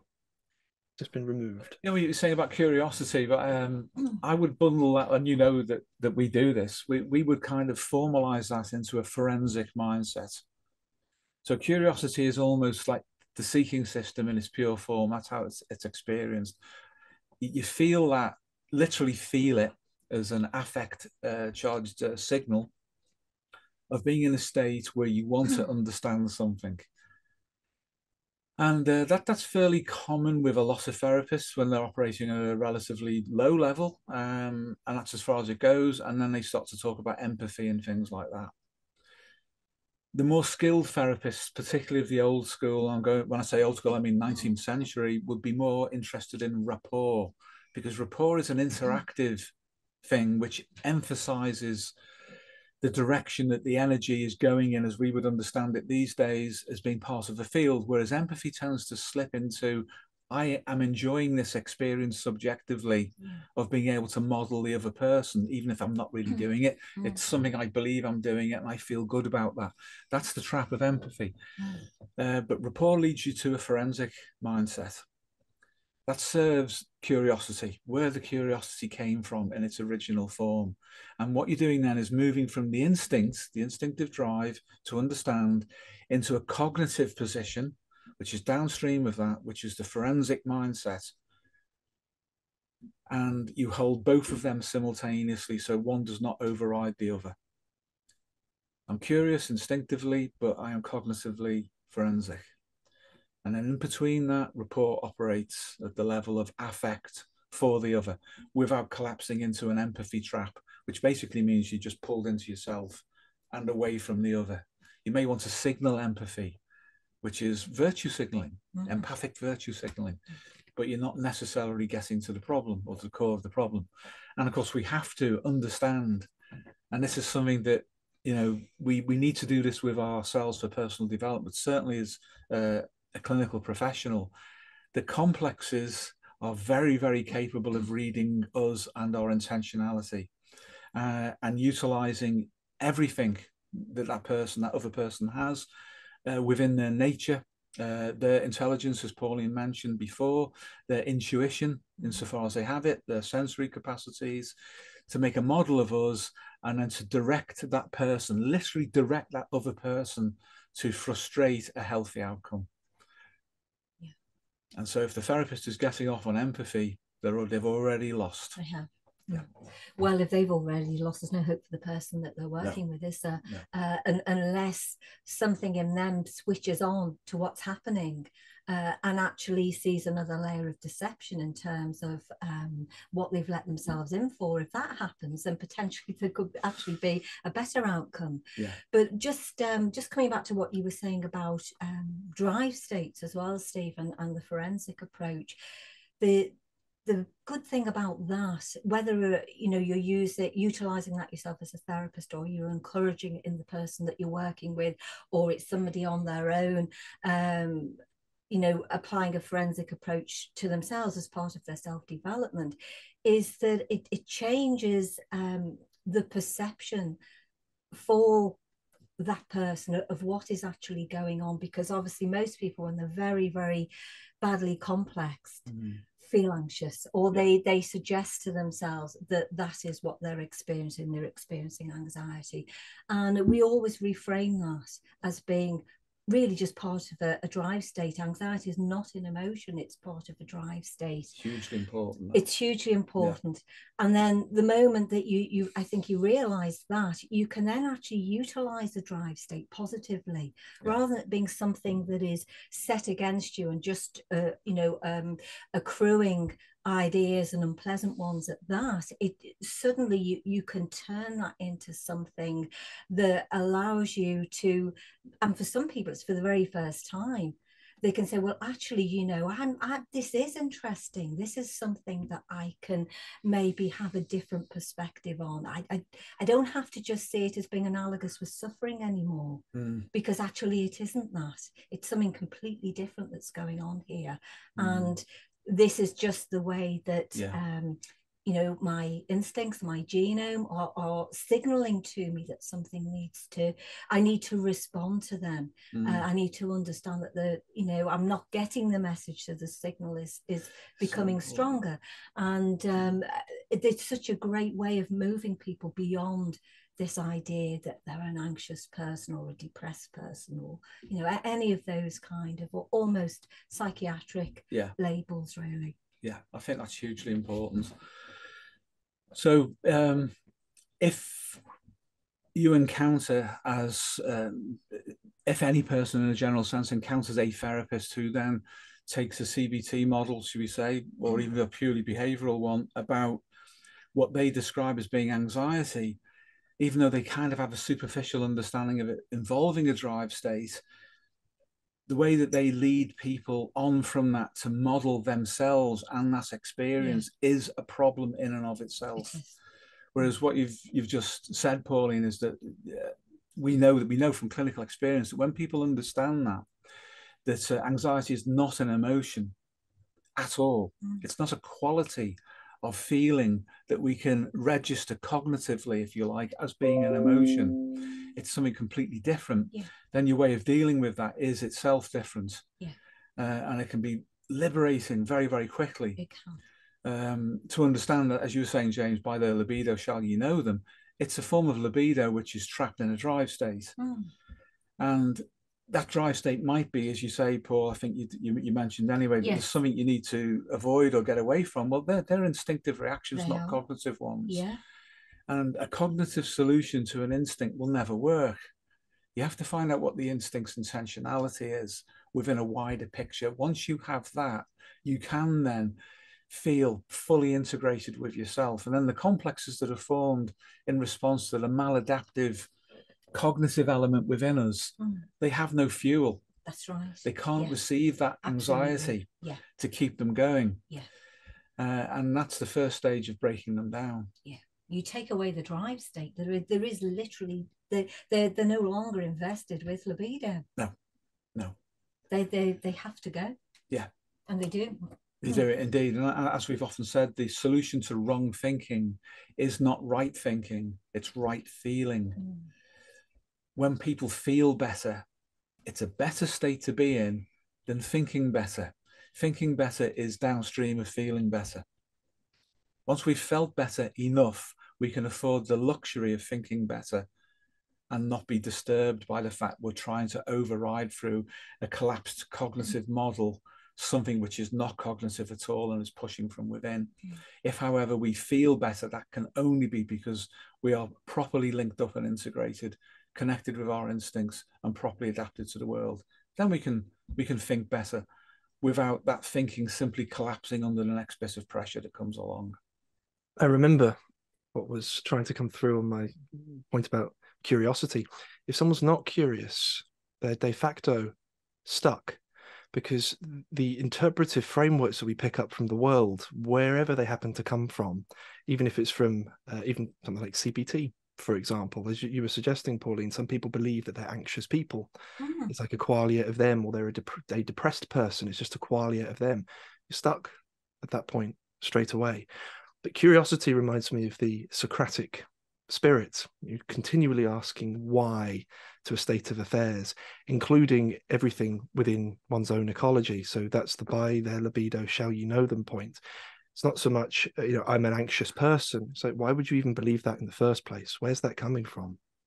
And it's following that libido down. I've seen that with myself, my own personal development, but also with working with other people.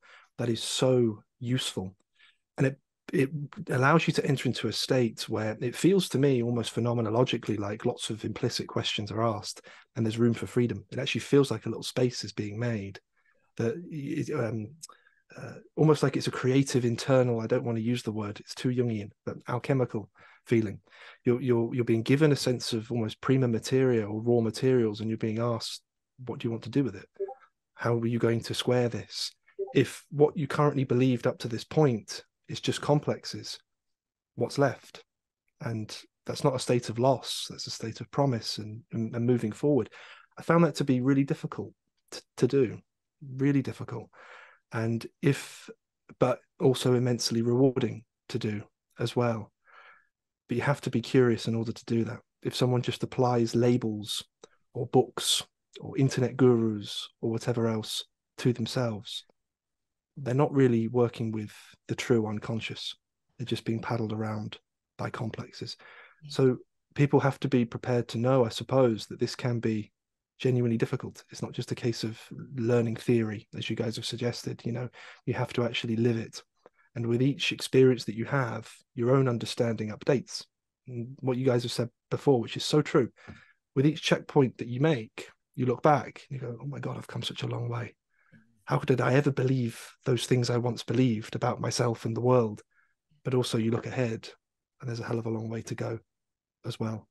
So that there was something about when you were talking about curiosity earlier in all of this context that uh, really hit me as so key. But that ties in with the forensic mindset. So, what we've covered so far then is the phenomenology of the experience of relating within a field, internally or interpersonally. And those fields are where complexes operate. But if we don't have that basic understanding of relating and the field phenomenon of relating externally or, or internally, we will not know what we're up against. We will not be able to make any separation between the healthy us and these things that, that have uh, uh, been acquired by us along our trajectory, the timeline of our life. So that's absolutely the first and most important step is to do that. That gives the ego a, a place to stand, a firm place to stand from which to take the next firm step. Uh, without that, then we're at the mercy of every kind of insinuation, as Jung would have put it, that might come from the unconscious, or as the old hypnotist would have understood, influence or suggestion from others externally, because we're as vulnerable to either of those um, as each of those, depending upon circumstances. And when, of course, the two of them are in synchrony, such as we have an existing complex that's being fed through the suggestion of third parties, that then just gets bigger and bigger and bigger, and we refer to it and identify with it continuously. It then becomes uh, an operating parameter for our life. If we contradict the complex, it will attack us, that kind of thing. So, knowing what we're up against uh, is so important. How to do that, understand how to relate, separate yourself off, discriminate, have a firm place to stand, be very, very curious, and then start the journey. And it needn't be slow and it needn't be quick. It takes as long as it takes, which can be very brief if you do the right things. That's something that Jungians don't generally understand or want to appreciate. The, the time dimension is not important. It does not have to take years. Uh, we shouldn't rush because that, that's that's a trap but we will be paradoxically quicker by being slow enough to allow ourselves to be fast. This is a question I've wanted to ask you for quite a while, actually. Homeostasis seems to be overall, the overall psychobiological homeostasis seems to be felt by the ego almost like is an instinct for uh, for personal development or for getting better or for healing or any sort of word therein. So I suppose if someone feels that they want to change, that they want to move past their complexes, they are ready. And hence, there's no need, exactly as you're saying, to delay. But also, another thing you guys have said is you, you go quicker by going slower. Yeah. That is absolutely and utterly true. Sometimes an, an, an overamped seeking system uh, can can certainly get in the way of that. Complexes will co-opt that instinct, just feed off of it because there's a hell of a lot of pressure, and then get pulled this way and get pulled that way and all over the place. But the the question I really really want to ask on this is: is there is there an instinct to get better? Oh yeah, for sure, definitely. We've um, spent too much time as a culture in the West separating mind and body off from one another, and therefore what is known and observable about our physiology as being self regulating and it preferring to be self regulated has been split off with the body from the mind. So the notion then that this, the psyche is self regulating, I mean, Jung did point this out. He said it was a self regulating system, he got that far with it. Uh, but the way that it does it is so intimately linked with the self regulation of our physiology. That's the key. That's not to reduce it into physiology, although physiology, with respect to how the metabolism of the brain, say, uh, works itself through, and deeper than that, how gene expression works.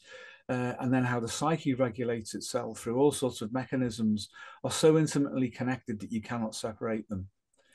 They are superposition states. The only thing that can separate it is a neurosis. That's when the system is working against itself and it's insisting through the neurotic psychology that we should be dissociated from our bodies um, and we should be dissociated from a, a, real adaptation through relating into the world. So you get your biopsychosocial complex at that at that point. The complex may be rooted in our psychology, It may originate there, but then it's superpositioned and so turns up in the body and in our psychosocial relationships. It's in all of those states simultaneously. That might make it seem an impossible task to solve. It is not.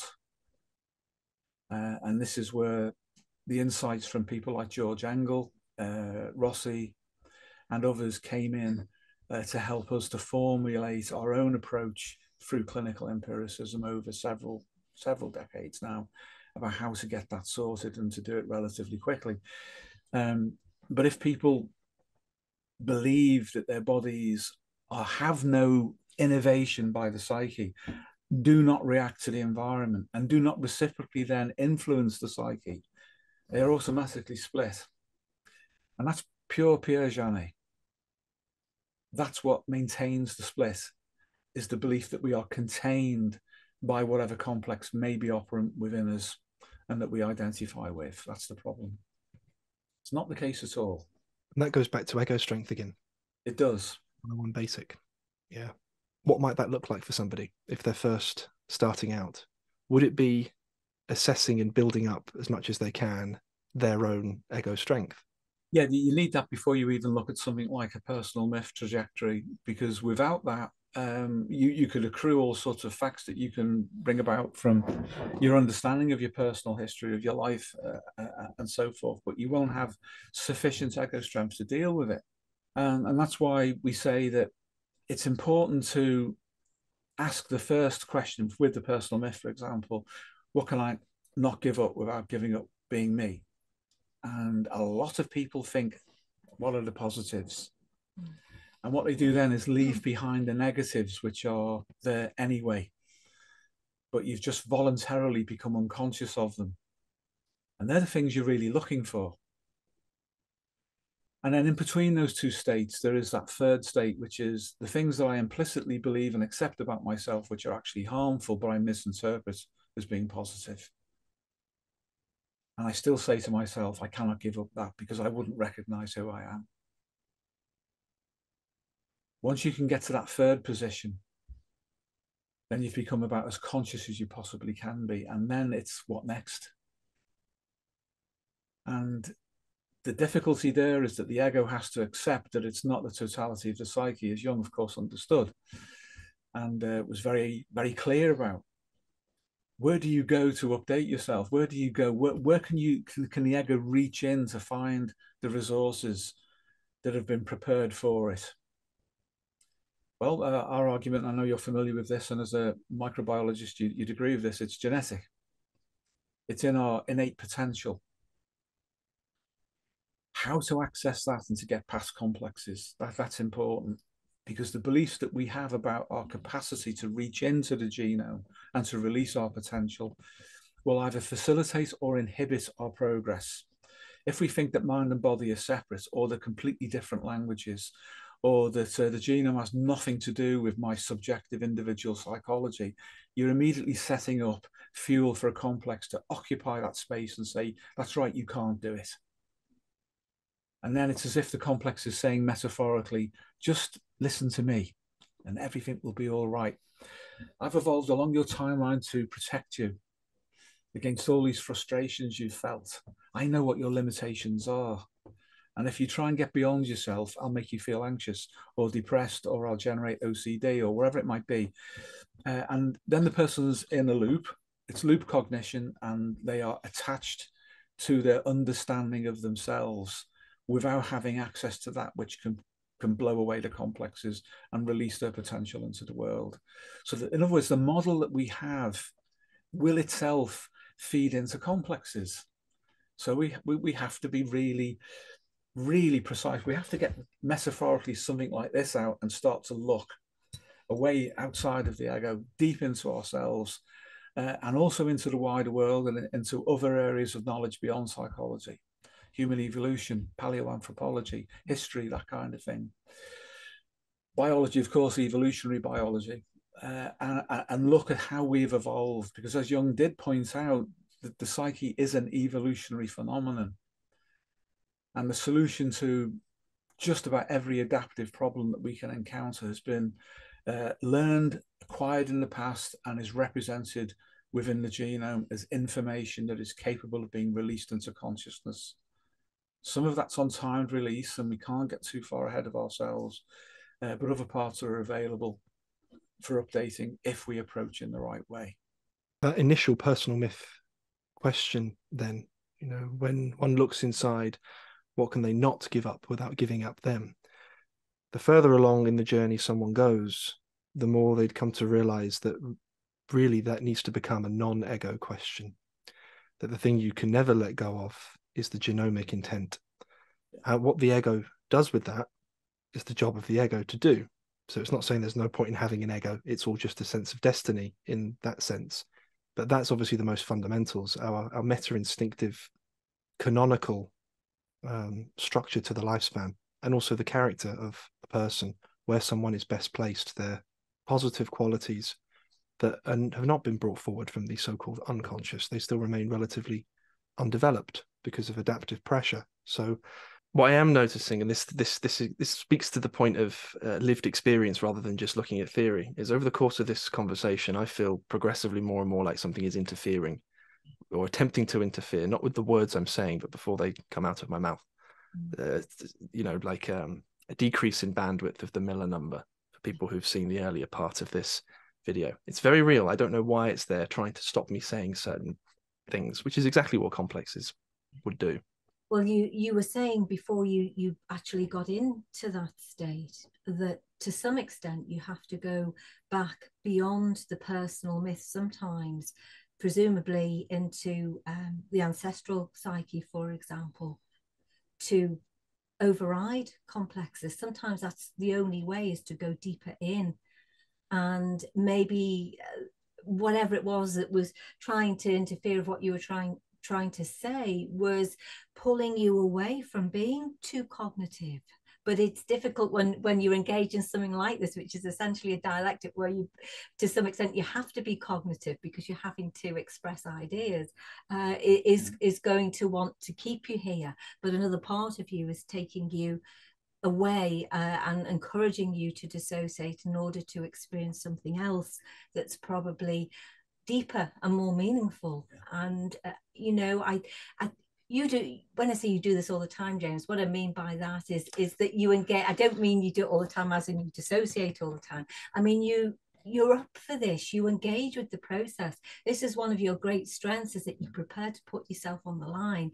And you you've always been like that since we've known you and and this is how it is for all of us. So in, in a way as much as it's uncomfortable for you to have to experience that it nonetheless it's a real-time example of how these things happen to us all. Mm. and no no doubt you will go away and you'll process this and something something of meaning will come through. Maybe when we finished here it may not happen right now. It may be something that's brewing literally in the background that's wanting your attention and you and you'll come back and you will attend to it because I know that that's what you do. And you you engage with the process. It's one of your great strengths.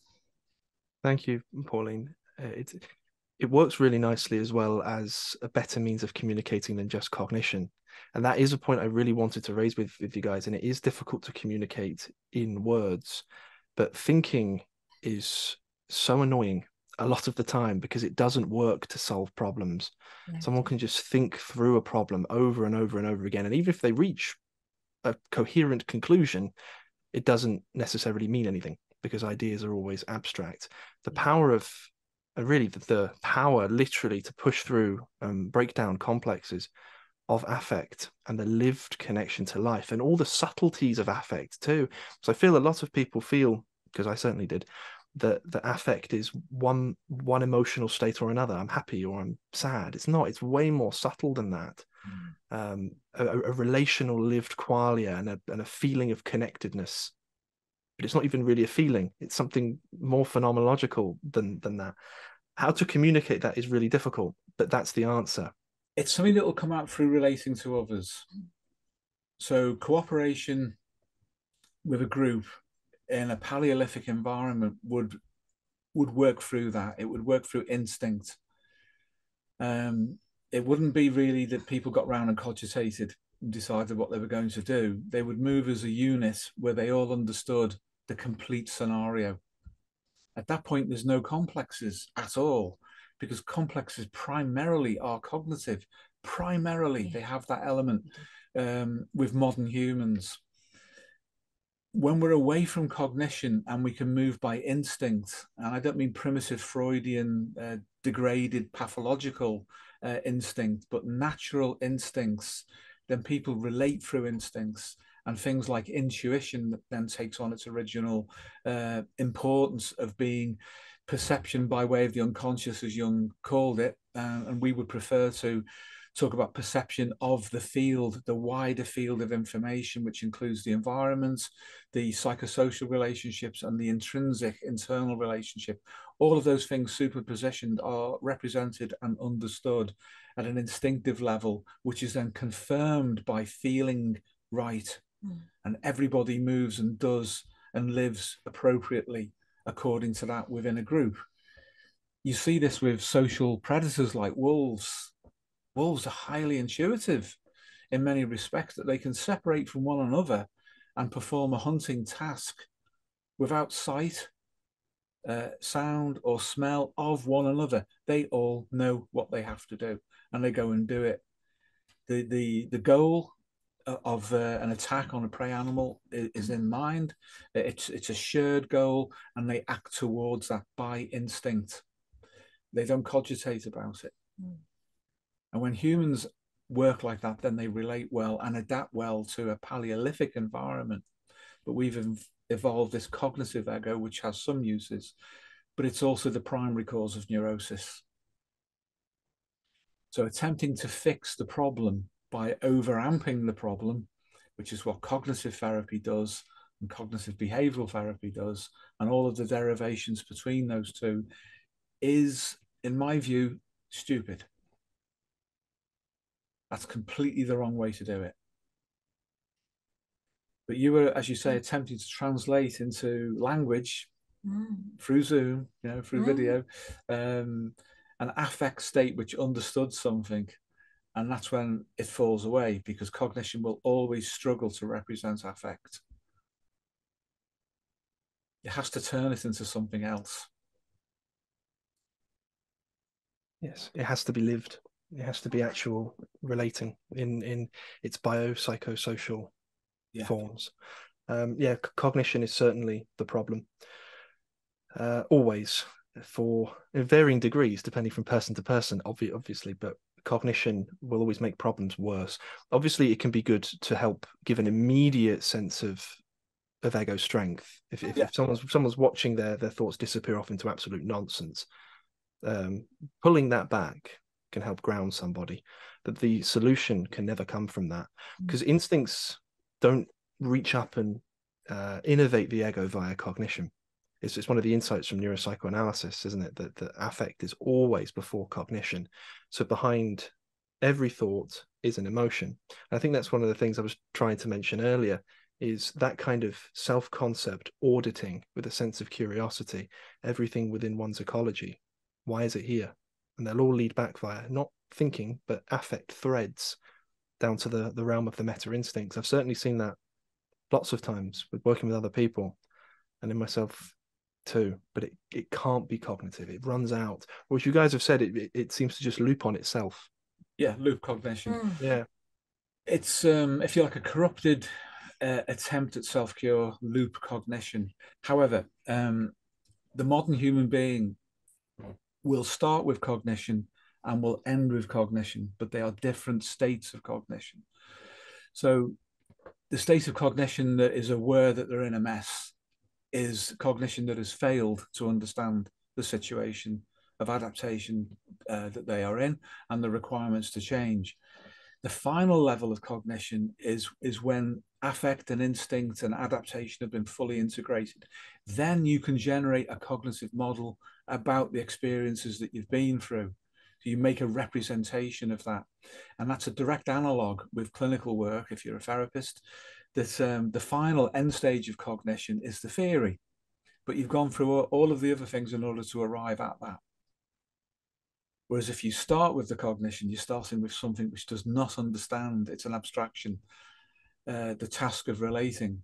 And that analog is reversible. So you can say about yourself, if I start with a cognitive model, say it's Jungian or whatever it is, then everything will be filtered through that. And it's all internal projection, and you are not really relating to yourself at all. That's great for complexes because they will absorb that theory and use it back at you. You have the shadow, you have the negative anima. The dark side of the self is going to destroy you.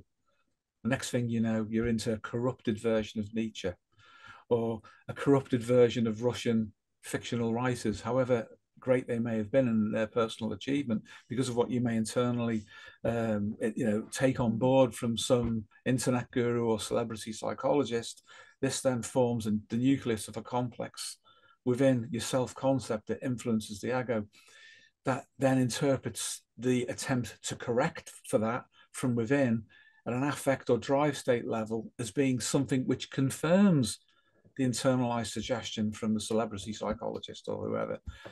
And then the complex just gets bigger and bigger and bigger, and the person is trapped in an awful state of unremitting angst and uh, bad cognition, bad understanding.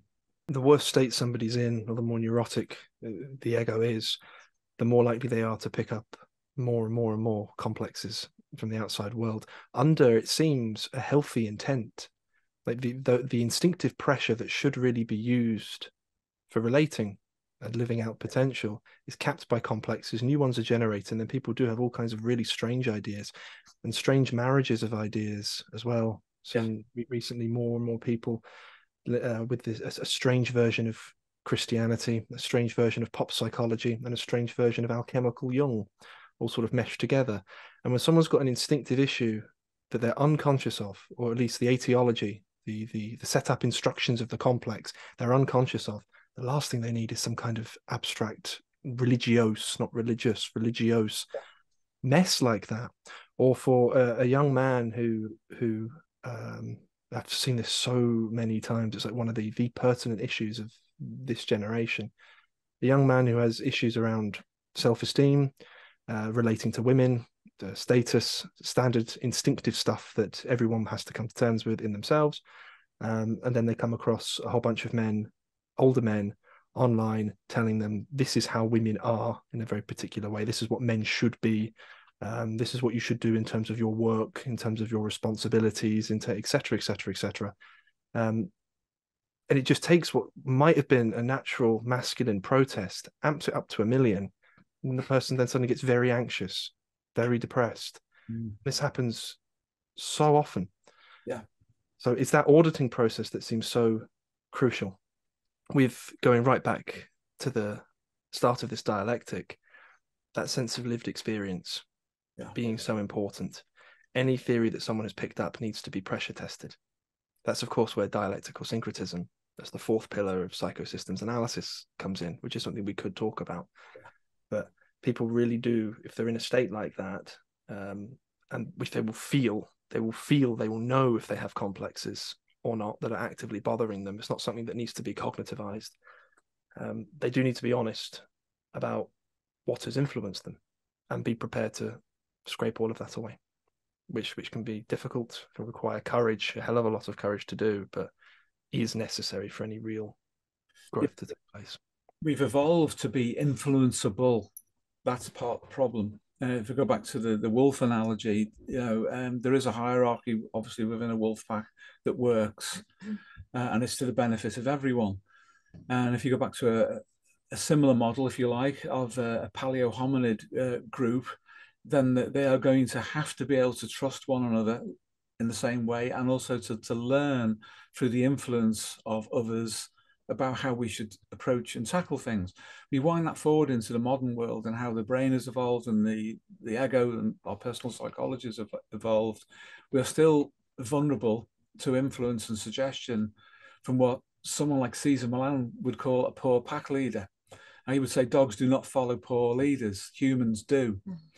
Uh, and that's entirely true, unfortunately. We, we internalize from a lot of these internet guru types all sorts of nonsense, which is basically just their own maladaptations and the limitations of their personality because of an instinct to follow leaders, to follow wise leaders, to follow appropriate leaders. And there aren't many of them around externally. So one of the best ways to check against that is to go into the, the Paleolithic psyche, which we still carry within us. And that, that's probably best discussed in another video where we could really go into some depth about mm. the ancestral psyche and how that works through. But the way that these influences negatively from internet gurus and the like um, take root is through that instinct for collaboration and to follow leaders. So the complexes readily form around that and as you said, Paul, very Mm. often the, the more intelligent people are in that ordinary sense of intelligence, yeah then the more suggestible they are. Yeah Uh, well they are because they're, they're, they're generally more open to ideas and, and to working with ideas. And it's easy isn't it when maybe we see leaders who are very obviously that way. I mean, i'm thinking of some of the political leaders that we have on the world stage at the moment. It's not difficult to see what they are but it's it's it's harder when it's it's more subtle or it, it's somebody who appears to be benevolent in some way or they they have a kind of a you know an admixture of both that you know they might have that side to them that is um you know uh Adler in the sense that they're striving uh, or, or, Mm. or being driven by their own power drive, but they may also have something about them that appears to want to help other people. And that, Mm. that combination Yeah. is a little bit more difficult to deal with than, say, somebody who was obviously outrightly Yeah. and obviously evil and doesn't hide the fact Yeah. that, say, they're that way. Yeah. So it, it's always it's always the nuance, isn't it? It's always the, Yeah. the the grey areas that are a little bit more Yeah. difficult to deal with for people, and therefore, whoever those people are, the more likely um, to be able to apply some influence. Yeah. um, and not necessarily always positively either. That's a Great point. And of course, complexes are always adaptive. That's what they're for. We Mm. evolved in a large cerebral cortex, particularly the frontal Mm. lobes of, of frontal areas of both lobes, Mm. you know, because the brain works as an integrated unit. The, the cerebral cortices sit upon older, deep um, subcortical structures, which fundamentally determine everything. This is an insight from neuropsychoanalysis and affective neuroscience. Um, so to think in terms of specificity for uh, cerebral cortex, in and of itself can become a complex through influence and suggestion, and people start to divide themselves between what they imagine is one hemisphere or the other. You know, Mhm. and, and to get those kinds of effects, you normally have to damage the brain permanently or temporarily to see how a broken brain works rather than an integrated brain and an integrated mind. Um, I know we've uh, we've had graphics on on this earlier, so that that's going to be an important thing. The Large Hadron Collider, for example, uh, and that's important clinically. But the main point, I think, for me at this point is, to to understand the importance of influence and suggestion from others and why we are vulnerable to that. And then when we get down into the nitty gritty of it, complexes are very much interested in as you've pointed out, the conditions under which they formed, James, when you mentioned that just a, a few moments ago. Um, in that sense, complexes want to preserve the past in the future through the present. And then we come to a paradox that instincts and the, the, the, the fields associated with the genome, which represent the ancestral psyche, all formed in the past too, but they are interested in the future and in adaptation in the future.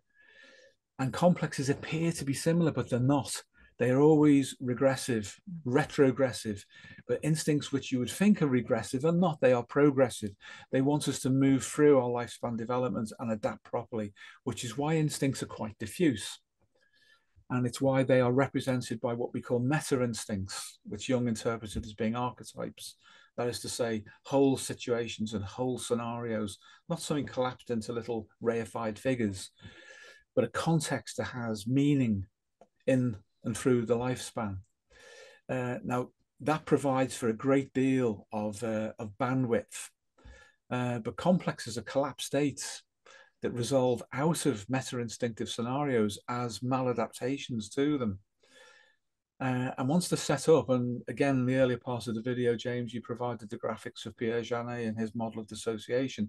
Once they're set up, they then can cap instinct and innervate uh, the ego and its self-concept and completely mess up our adaptation to the world and to reality. Uh, and there's all sorts of ways that they can do that, which we could go into. I think we should. the, the first clinically, and you can do this through introspection. The first way that, that, that you can detect the complex is the way that they seamlessly innervate a person's thoughts and speech through relating externally or internally when we have an internal dialogue or an idea uh, or a situation or an anticipation appears to represent itself to us from within. Much of it will appear to be quite reasonable and rational and logical. That, that will appeal to the ego. But embedded within that will be something quite unpleasant. And because it's embedded, we won't detect it. But its intentionality is to get the ego to agree with the whole scenario that's presented by the by the complex. So it's as if the first thing it says is quite reasonable, and then we accept it. So it's pacing us, and then it leads us into confirming it. It's a pacing and leading from complexes internally. We we accept it. Yeah, that's true. That that is true about me. That happened, and I did that, and whatever it might be. And then they add something to that, which you believe because you believe the rest of it. And it's that which is the key to understanding that this is a destructive complex, which is, which is occupying uh, a part of our psyche, is capping our instinct, instincts and misdirecting our libido. You pick that up in conversation if you're a therapist, um, because inevitably they show themselves. They, they they can't resist doing it. And they seek confirmation every bit as much as the normal ego personality seeks psychosocial confirmation. We all want to have that. We want to be acknowledged as being real, as being rational, as having value. Complexes do the same thing. And what they will do is co opt a therapist to confirm the complex by embedding uh, speech, if you like, or words within a sentence, within a phrase, which itself is embedded within a wider context that the therapist starts to nod and agree to. And then the complex picks that up and says, Agree with this it's embedded in, in what this person says, and the yeah, and the complex will then insinuate internally. See, I told you. And it's not what the therapist said; it's the fact that the therapist has been co-opted to confirm the complex, and the ego does not discriminate itself from the complex; it identifies with it. So that feeling of being confirmed then is the feeling of the complex being confirmed, and then the person remains stuck or they go away worse than when they came in mm-hmm. because it's been confirmed. And if, if you work properly with someone, you can reach the point where you can actually point this out to them in real time. Uh, and if your conversation is being recorded, then they, you can ask them to play it back and they can hear themselves doing it in that moment. This other thing presented itself, it inserts itself in the conversation. It co-ops the therapist to confirm it, and then that's it. They're stuck, and they remain stuck. And it becomes a habit then. And if you're in a lengthy analytical process, one of the reasons it takes so long for classical analysis is the repeated confirmation of complexes by analysts.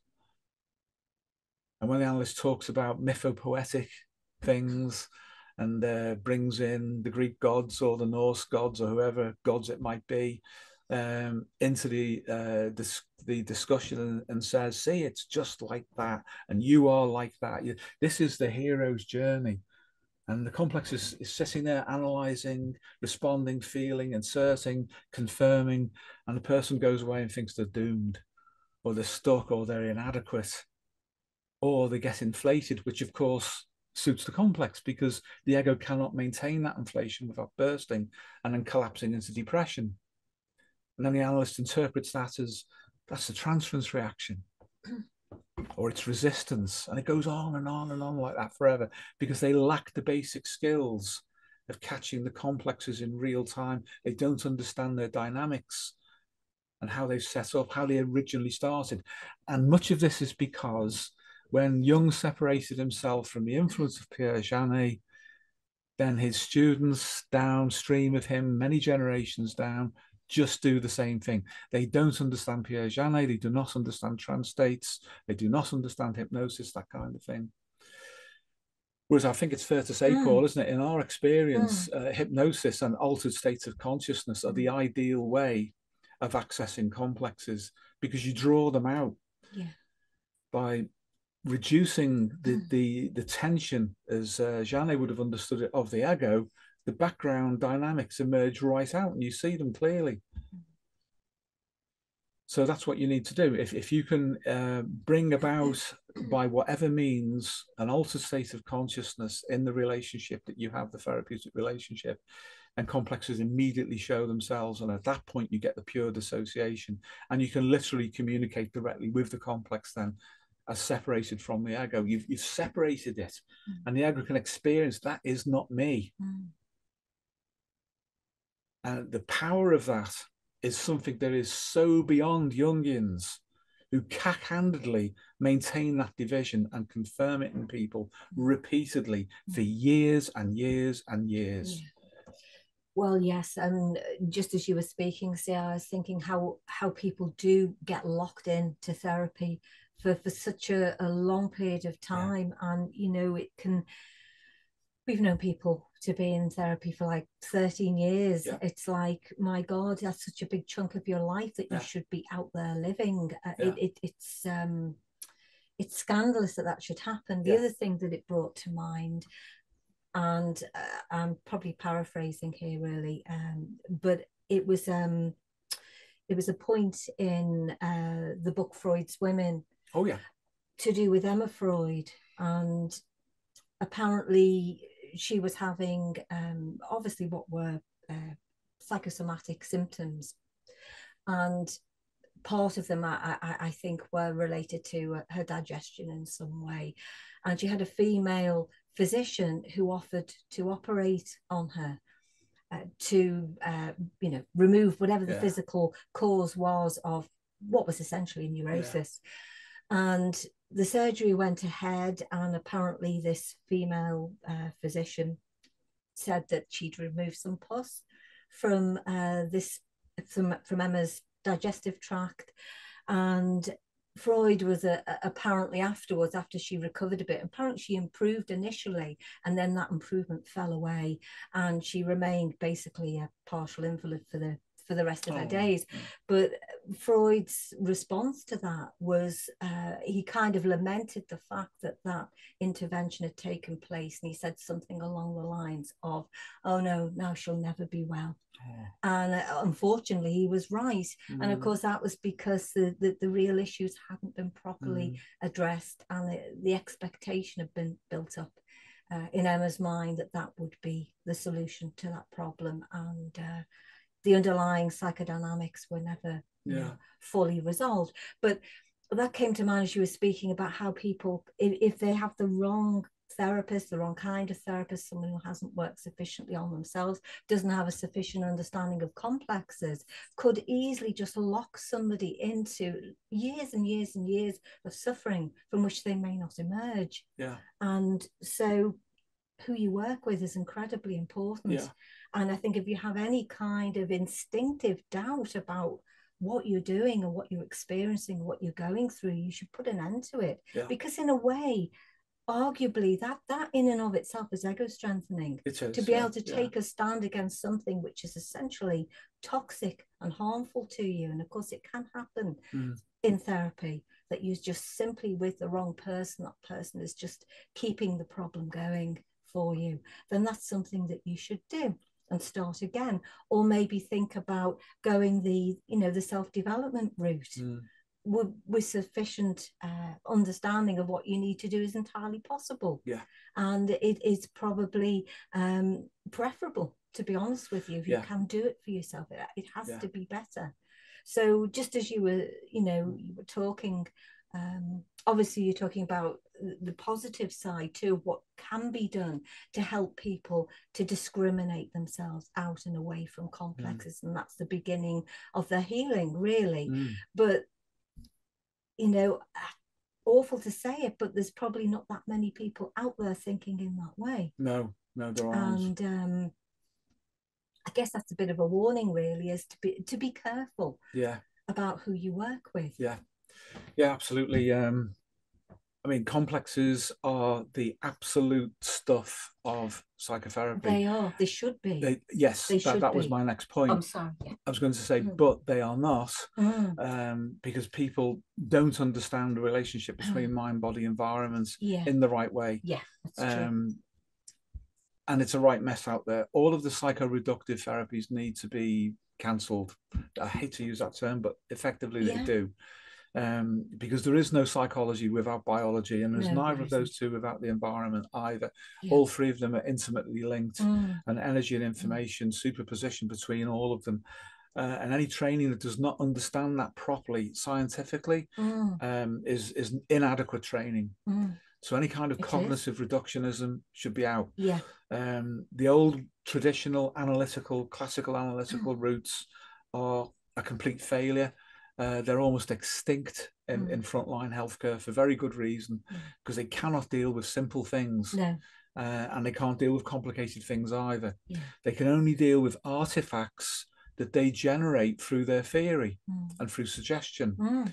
You know, as we used to joke, you know, and say, well, if you go to a Freudian, he'll give you, he'll persuade you you've got a Freudian problem Yeah. and then give you a Freudian solution. And suggestion is the way out. Yeah. It'll just take years and years and years. Yeah. And it's the same with a Jungian. You go to a Jungian with the same problem, but you allow yourself to be influenced. You'll generate an internal model through suggestion of what the problem is. Mm, He'll, he or she will then offer you uh, a Freudian solution, a mm. Jungian solution. And if you go along with it, it will take as long as the theory says it will take. That's right. Yeah. Uh, and it's pretty much the same with all of them. Yeah. Yeah. Um, so we, it, it needs a complete reboot. Yeah. I mean, we, we we often, and this this is part of our lament. We Yeah. often wish that that Jung had carried on with, Yeah. and obviously uh, built on uh, Janet's work Yeah. and and developed this theory of complexes more than he did. I mean, it's such, such a great shame. I think we often say, don't we, that the whole edifice of psychotherapy would have been different had that happened historically, yeah, had he continued with it. And uh, Yeah. yeah, yeah but we know obviously it's, Yeah. it's gone in a particular direction and, and and it has no certainly this has been our experience no real frontline applicability whatsoever none. You, you have to go back to the fundamentals. All of Jung's practical work was done in the from 1900 anyway, should we say, Yeah. to about 1910, Yeah. roughly at the outside. Uh, those 10 years were his most productive, Mhm. uh, and that was because he was working under the influence of other people yes like Pierre Janet, yes uh, Eugen Bleuler. He's Yes. working with people like Franz Riklin, Yeah. And that was generating real solutions to real problems Yeah. and immense Mm, potential was there. So had he, if he, if he had to separate from Freud, had he separated from Yeah. him and collaborated with Pierre Janet, we would have a very different uh, Mm. approach now to psychotherapy. And the uh, the abhorrence that is CBT would never have evolved. It would never have had to evolve No? to fill the vacuum Mm. generated by the analytical reductive models of the day. Mm. But of course, it probably couldn't have happened because Jung did not collaborate well with anyone. Uh, Freud didn't. Um, Janet was more of a uh, more of a collaborator. Mm, Um, so it would have it would have been down to Jung to make that effort, and he never did. Mm. He never collaborated with anybody very well at all. no i mean obviously he spent time in the Burghölzli and, and he had direct contact with Mm. you know the patients within the Burghölzli and we've often we've often spoken about uh, Bleuler as well uh, with with his Yeah. direct involvement you Yeah. know he would eat and and and uh, you know not literally sleep but he, he would Yeah. he would share he would give of his, of himself to that extent he was in Yeah, to use a Jungian expression in the soup with those people and and that's where you we know, lived in with his he wife. lived in with his wife Yeah. and i just Yeah. i think that's exemplary Yeah, actually they they cooked for the patients. yeah he gardened with the patients. He, he he did physical, Yeah. creative work yeah with ot patients. type or occupational therapy type Yeah, work. Yeah, he yeah he did all of that. He did, Yeah, yeah. yes Uh, Jung just went his own way. And, Yeah. uh, yeah that's history. Mm, But uh, what we still call complexes are the very stuff of of, of psychotherapy, they are without a doubt. Yeah. Mm. And uh, understanding dissociation is fundamental to that, Mm. and therefore understanding hypnosis. But hypnosis is not one thing. It's like psychotherapy, so many different schools. There are so many different approaches to hypnosis. So we can't collapse it into being one thing. Mm. Um, in our view, the best uh, lineage in that would come once we take all of the old, the, the really old early hypnotists and, and hypnotherapists into account through Janet, uh, and then a big leap forward into Milton Erickson to some extent, and then into Ernest Rossi. That's the right route to take. Um, very, very powerful, very, very effective. Uh, but of course, we can extend uh, hypnotic trance states into the use of things like creative therapies, all the different kinds of creative therapies, um, and how you can work with complexes through all of those as well, because they are all altered states of consciousness.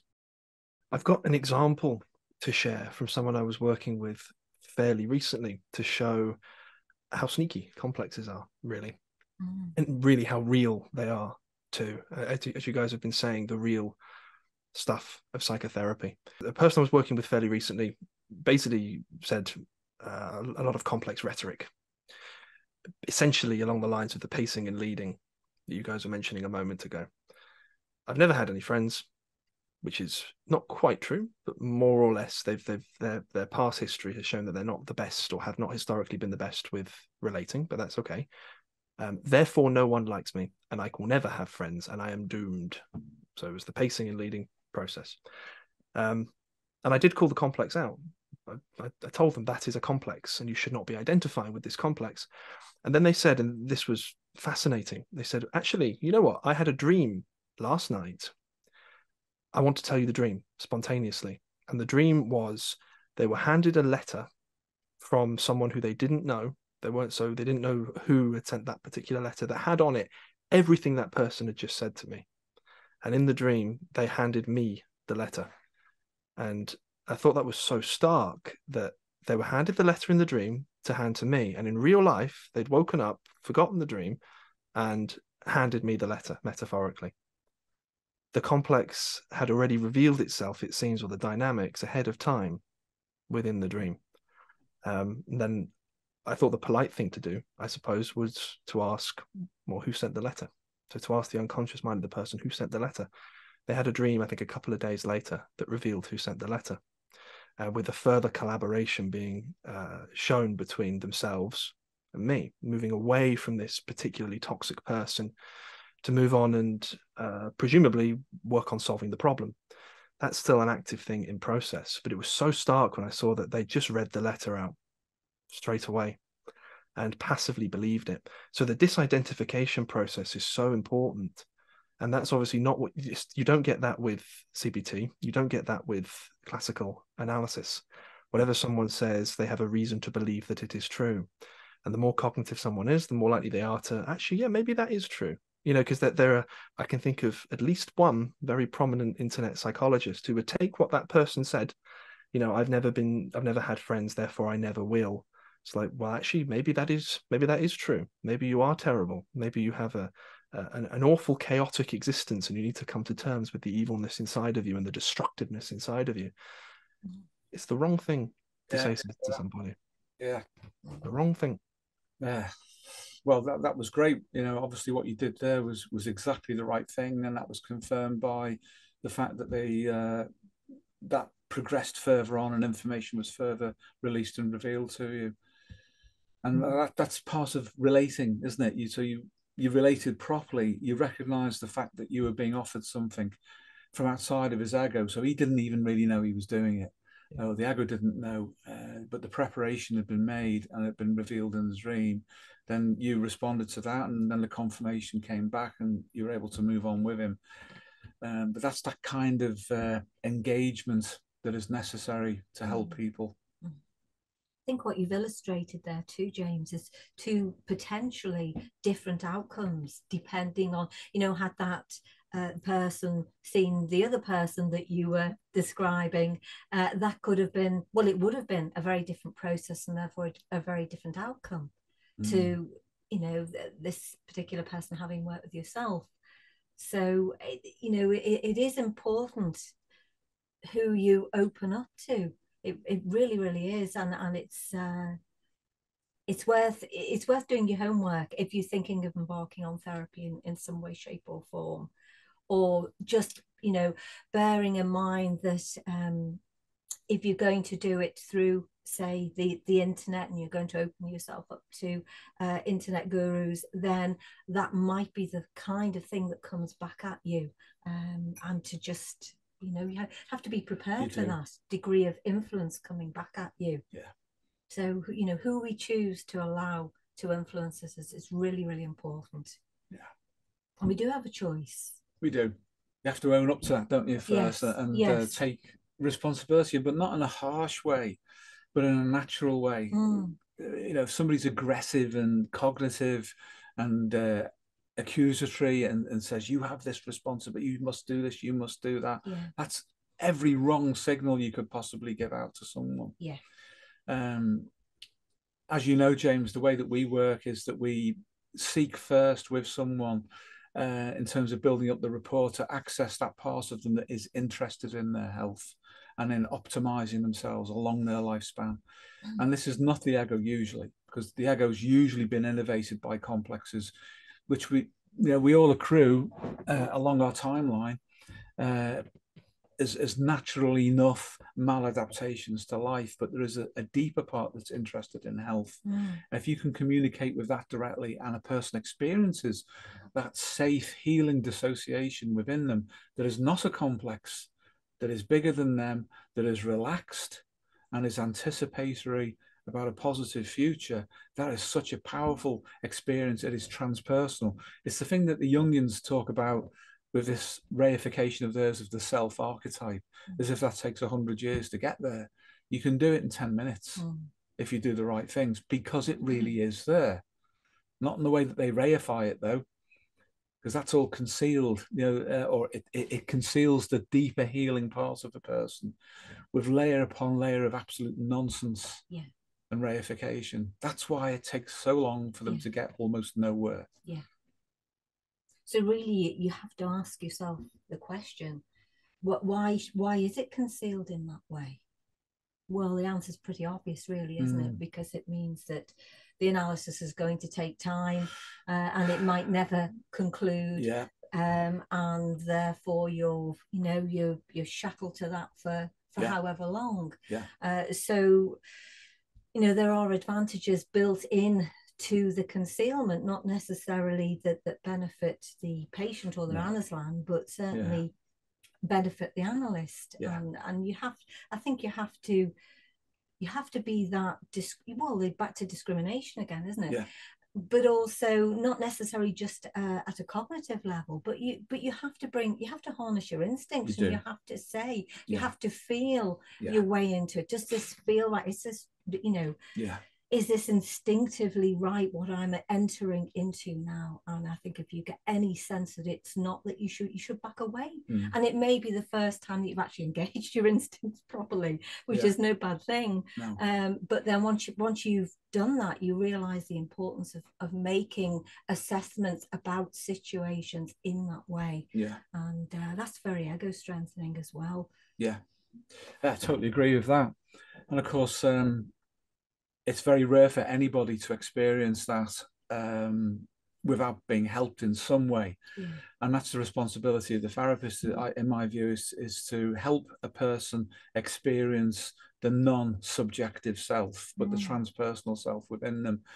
Uh, not as an idea, but as an experience. Yeah. Anybody could offer it as a theory and say that you have this self archetype and you must draw mandalas forever, you know, or uh, it's other nonsense that these Jungians uh, preoccupy themselves with. But if in the very moment they can experience a transcendental, transpersonal experience of their deeper, unifying, organismic self, Mm. um, and all you've done is to facilitate that, and for that other part of them to communicate directly with that that subject, that person's ego, and say, "Yes, I agree," and I agree with the therapist that it this is right and this will work. Let's go for this. That is so powerful. I've never once heard a Jungian ever say that they can do that or even knew that it was possible. But any competent, and I mean this in the fullest sense, any competent depth psychotherapist will know not only is that possible, but you could do that within a few minutes of meeting someone if you know what to do and if you respect the the process properly. Uh, but it is so rare because so few people are trained in that kind of thing these days, Mm. and they're certainly not experienced enough in it. What follows now is a narration of 16 posts by Steve Richards from our Jung to Live By Discord server, all on the nuances of working with complexes clinically and for personal development. All were prompted by questions from dedicated students and inquirers into depth psychology, who are working valiantly on themselves and to understand the psyche in its lived reality. If you'd like to join the server, there's a link in the description. Steve has written thousands of posts, all of which are instantly available. Let us begin. On working with personal memories.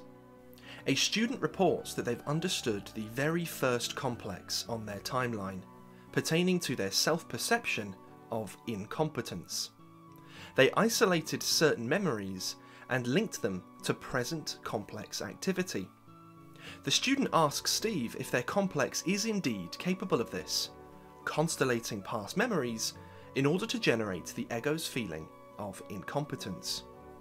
Steve replies, The first place to start is to be inquisitive about the phenomenon of you and the biopsychosocial domain you flourish within.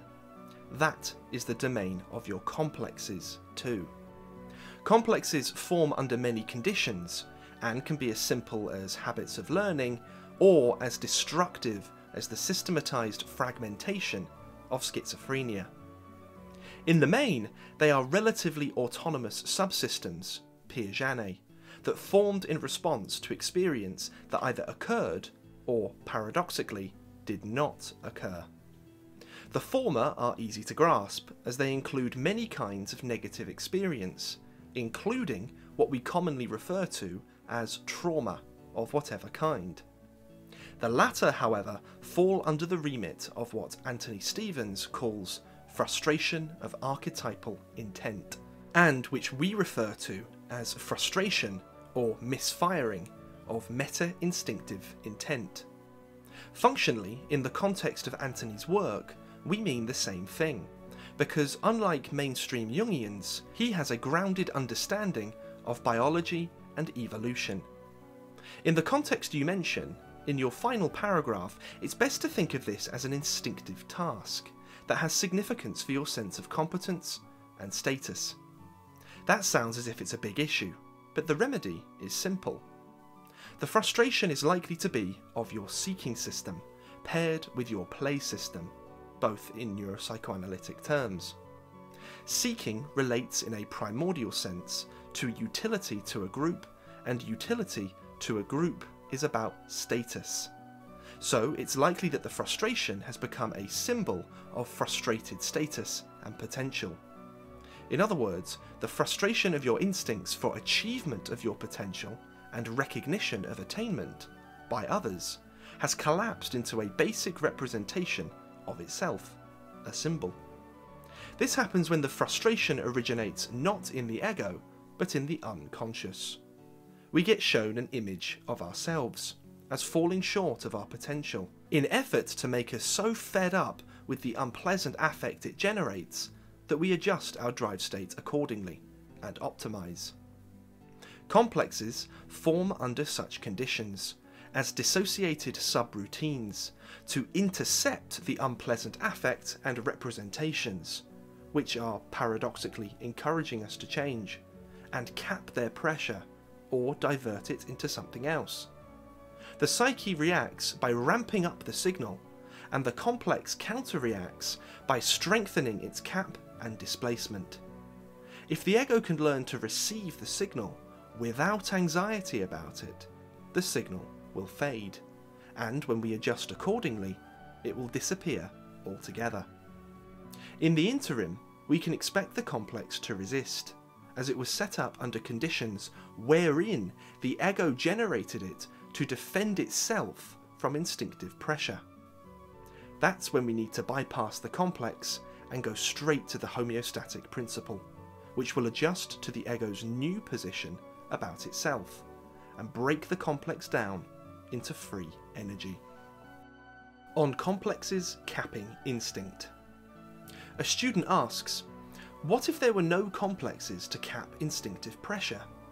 Would there be walking zombies everywhere from overblown, unregulated affect? Also, how does one practically bypass a complex and go straight to the homeostatic principle? Do you have an example of some sorts?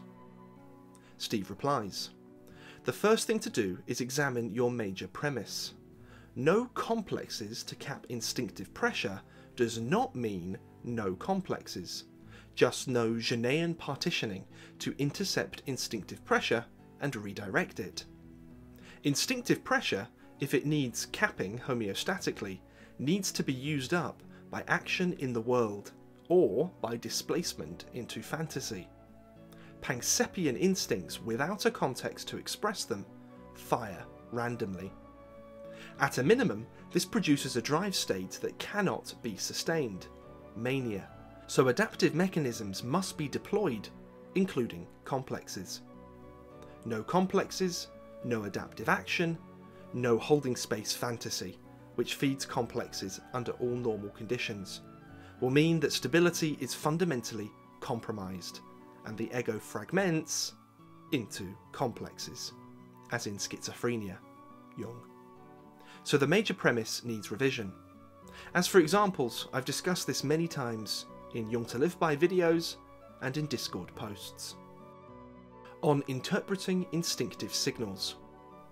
A student asks, are instinctive pressures always easily decipherable?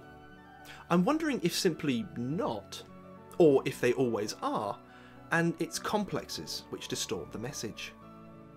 Steve replies, The biggest inhibition to instinct is mature, rational cognition. Complexes are most often variegated, superpositioned, informational states that may have a strongly represented cognitive component. As humans mature, cognition differentiates, as it did as an evolutionary adaptation. In young children up to puberty, Pankseppian instinct is natural, according to the stage of lifespan development. Meta instincts are progressively rehearsed through both solitary and social play. Puberty sees the genome release its final biological meta instinctive program to contain and express the reproductive and psychosocial instincts. Thereafter, cognition takes on a primary role in adaptation to the varied challenges of adult life. For modern humans in developed societies, affect and instinct intrude and threaten cognition, which in its arrogance regards the former as irrational.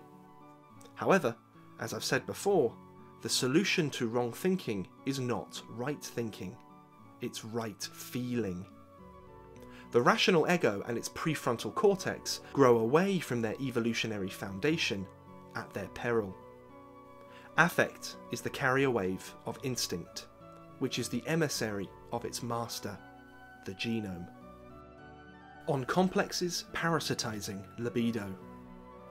A student says, Every moment I'm being invited to either experience the present moment, life itself in its total reality, or else to withdraw back into my own complexes and cognitive associations and keep having the same experience of life over and over again, making the same mistakes and having the same results. Every time I choose the former option, I am allowing the unconscious and homeostasis as a whole to do its work and these ideas and complexes that I thought were so central to my life grow ever more distant in both importance and intensity. Steve replies, There's a constant tension within the developing ego between the primary need to adapt to the outer world and the pressure that comes from the unconscious to meet its requirements. On this, both Freud and Jung agreed, albeit from different perspectives. Of the two, Jung's position was by far the more sophisticated, but for each, what they found mirrored the irreducible ground of their respective starting point, their endowed character and its limitations. We don't escape our personal equation easily. Indeed, it's the starting point for any true insight. We begin at a significant disadvantage. Our ego is immature and is beset from within as well as from without. Other qualia of consciousness exist simultaneously and intrude their symbolic representations even whilst our cognitive ego distills through biological and psychosocial maturation. Our evolutionary psyche is real. This is not a reference to Ernest Haeckel's recapitulation theory, ontogeny recapitulates phylogeny, but rather to the work of Jung, Paul MacLean, Anthony Stevens, and others, as understood through a superpositioning and informational monism framework.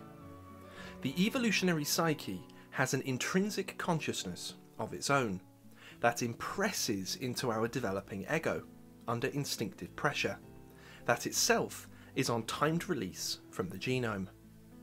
Homeostasis in a whole human system does not always deliver smoothly. Indeed, given the adaptive demands made upon it, it doesn't because it can't. The pressure we experience subjectively from the non ego consciousness of the so called unconscious has to be systematized into representational forms that echo past adaptations to the evolution of consciousness, as we understand consciousness as such to be. Higher potential minds, as they develop in parallel with their maturing brain, will often come under the influence of occult, magical, superstitious, or other such influences because of that instinctive pressure from within. In some, if combined with substance abuse, or if filtered through a normal maturational or individuation neurosis, then fantasy becomes the holding space, for as long as it, the fantasy space, can be sustained. If there is no severe mental illness, then maturation will regulate the developing ego into an adaptive range, appropriate for lifespan development. Creativity is often the result of this pressure, but it must be remembered that unbounded creativity is a precursor to mental illness through Jungian style inflation. The key is ego strength. The ability to be forensic helps here, as it will seek out the real from the fantasy. Fantasy, based on the Paleolithic psyche, will find the supernatural and the occult where they don't exist, and miss the reality of the parapsychological where it truly operates. The modern human ego, if it is of high potential, will be required by genomic pressure to understand itself and its extended environment in ways that occupy many different states of consciousness simultaneously. This is not easy. The wrong way to go about things, unfortunately, is easy. We need to avoid hyper-rational, cognitive reductionism, as that contraction of consciousness is maladaptive. We need, too, to avoid being drawn into inflation and pseudo consciousness by forces we do not understand. The task is not, as I have said, easy. It takes time and it takes hard lessons, which is Darwin's answer to the conundrum of mere being. The student replies On reflection, this message also brings into focus one of the topics discussed in one of the recent Jung to Live By videos. The more complex an organism, the more potential it has for higher consciousness. But there is also an equally increased potential for things going wrong and for making mistakes. That's what makes it so difficult. However, when one goes through the task and finds the right homeostasis for them to live naturally, themselves and the world will be equally rewarded. Steve replies, Yes, and that is the troublesome stage human consciousness is at right now. The human brain is capable of generating as much nonsense as sense when it comes to virtual modelling. When this expanded capacity becomes overamped, either through a seeking system that's operating without a context, or within one that is too limiting, then the drive state is such that it has to be ducted into fantasy, or perhaps a conversion into symbolic, symptomatic representation, either in the body, the interpersonal domain, or both. Homeostasis in a whole human system is so complicated that its regulation may necessarily be suboptimal in some areas and over-adapted in others. The genome can tolerate suboptimal adaptation for extended periods of time, but whatever potential we have will always generate instinctive pressure to actualize itself. We can predict that evolution will look for ways for consciousness to escape the functional limitations of biology, whilst using biology to create the means of onward progression. Evolution is biological, but in a systems and informational sense, it operated before biology and will continue to push beyond it. On the expression of complexes in the body. A student asks, I have a question about the effects of complexes on the body. This morning I tried to practice presence, resulting in a sudden tsunami of negative emotions mid morning, accompanied by a strange sense of derealization. Now that I've recovered, I notice not only low energy, but also a strange feeling in my back, which wasn't there before. It's as if initially the complex was located at a cognitive level, as usual, and the state of presence has somehow weakened it. Then it appeared in an affect toned state. When I disidentified with it, then it passed into the body. Is such a thing possible? Steve replies, It is certainly possible, but it's important to understand that what presents in one form and then another are aspects of the same informational field. What the psyche puts there, the psyche can take away. The student replies, Thank you, Steve. Can you please elaborate a little bit more about that last sentence? What the psyche puts there, the psyche can take away. Steve replies, Informational transduction, Ernest Rossi, converting or transducing information from one representational state to another. This is the dynamic that underpins so called hysteria, as in hysterical conversion reaction, symbolic conversion, somatoform disorder, and any stress reaction that converts from psychology into biology. Complexes are systems of representation that can occupy all of these states. However, if the psyche transduces, then it can reverse the process, or transform the repressed information into something healing. On complexes tricking the ego and the mother complex. A student asks Can complexes be positive such as containing instinct which can be used for relating to family or friends? Or are they always negative? I ask as I've heard some people mention a positive mother complex. Steve replies, Yes, positive complexes are real. They're simply systems of information that work well for homeostasis and lifespan development. However, it's important to hold in mind, firstly, that when complexes are discussed in a clinical sense, or even personal development, then it's usual to do so in regard of their negative configuration and effects. Secondly, although a positive negative polarity seems complementary in modelling and understanding of complexes, it's actually a trap, unless we are very familiar with the reality of their development, role, and behaviour. There's a tendency brought about by exposure to collapsed Jungian ideas, to find the opposites everywhere. This suits negative complexes nicely, as the binary opposition between contending opposites generates the impression of an on off state, with the embedded suggestion that the on switch or state for a negative complex can activate or reactivate at any time. The same trap awaits CBT, with its hyper rational reductionism. Sufferers from OCD and related conditions fall for this trap, which is only made worse by binary polarization in CBT or Jungian therapy. To step away from this, consider the positive or negative mother complex to be a representation of a personal experience and not a thing in itself that could be reified into an inevitable issue.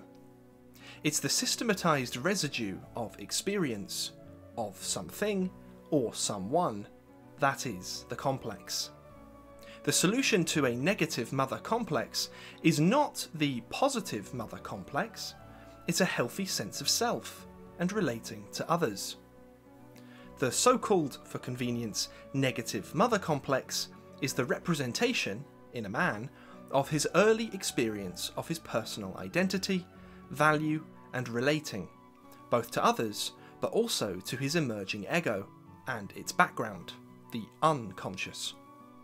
A man will initially trust his relating in both domains, according to how his understanding of these has been confirmed by his mother, hence the mother complex. This is why the Jungian anima in a man emerges out from the primary relationship to the mother. It's the relating function and system. Jungian archetypes that supposedly underpin complexes and provide the structure for them to form around are actually instinctive meta scenarios and roles, meta instincts.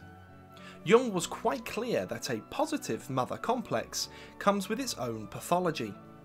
This fact is so often overlooked because people become entrapped by a pseudo Jungian obsession with the opposites. Truly positive complexes are not a problem. Hence, they are of limited clinical interest.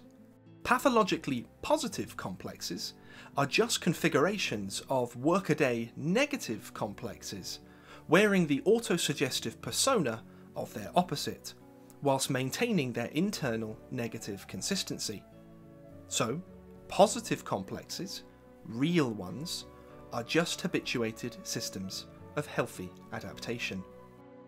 The student replies Thanks, Steve. I experience this myself. When my complexes dissolve, then I begin to relate well. But upon their return, I feel like there's a huge gap between who I think I am and who I really am. Perhaps I'm dealing with a deep structure complex. Steve replies the on off polarity switch that complexes rely on the ego passively accepting is the mechanism of an autosuggestion which firstly believes that complexes have been dissolved and then come back again. It's imperative to understand that it is this that defines the functional polarity trap. The intention by the complex, behind the ego adopting that belief, is that it stays stuck supporting the negation of the negation this is why building ego strength is so important, as that means disidentifying with the very tacit or implicit beliefs that support the ecology of the complex.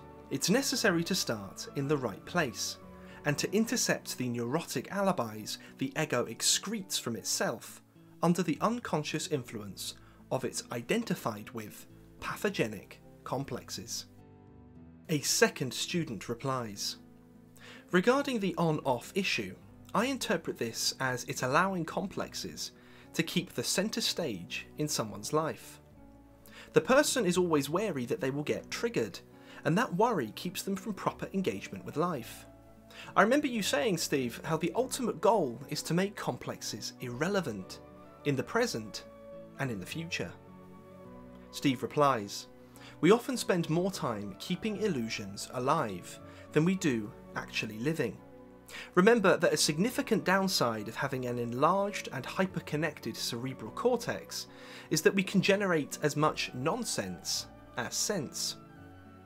A trickster finds thoughts for underused minds to think. Underused here means unproductively used. The spare capacities we have can be used to be creative in a positive, generative way or they can systematize by being configured into complexes. Because we are social, we tend to reify complexes and make them imaginary characters, autonomously running around inside our heads, in like fashion to how outer, real people have autonomy in our external world. Complexes adopt the path of least resistance to their survival. So, if the ego generates fantasies that make them into reified inner characters, then the complexes in question will readily accept. Their Sheldrakean field knows that the ego's psychological immunity will not attack something the ego regards as being itself. So, be careful about internalizing the negative anima or the shadow or other Jungian fantasy constructs. As soon as the ego identifies with them, then a complex configures around that internalized identification and associates to itself any learning based on the supposed characteristics and dynamics of the internalization. Meanwhile, the real complex, as such, is concealed and remains protected by the ego fictions, internal projections, and autosuggestions that busy an overexcited cerebral cortex. On complexes persisting after disidentification. Steve writes Complexes are whole patterns of being and doing, and the degree to which they are habitual, in the usual sense of the word, is that which generates the inertia of familiarity with them. This means that they act as tacit adaptations that intrude unconsciously because they formed part of our self concept, i.e., we identify with them. This persists for some time after we make a cognitive shift away from identification. This is because complexes are not only cognitive and not only behavioural, they are superpositioned patterns of information that, at an affective and sensory level, we implicitly identify with so we should expect some persistence of their field strength, whilst we adjust our adaptive homeostasis to disinclude them in our lives. On trusting instinct. A student says, At the heart of my OCD was a deep mistrust of instinct. I had a similar view of instincts as Freud.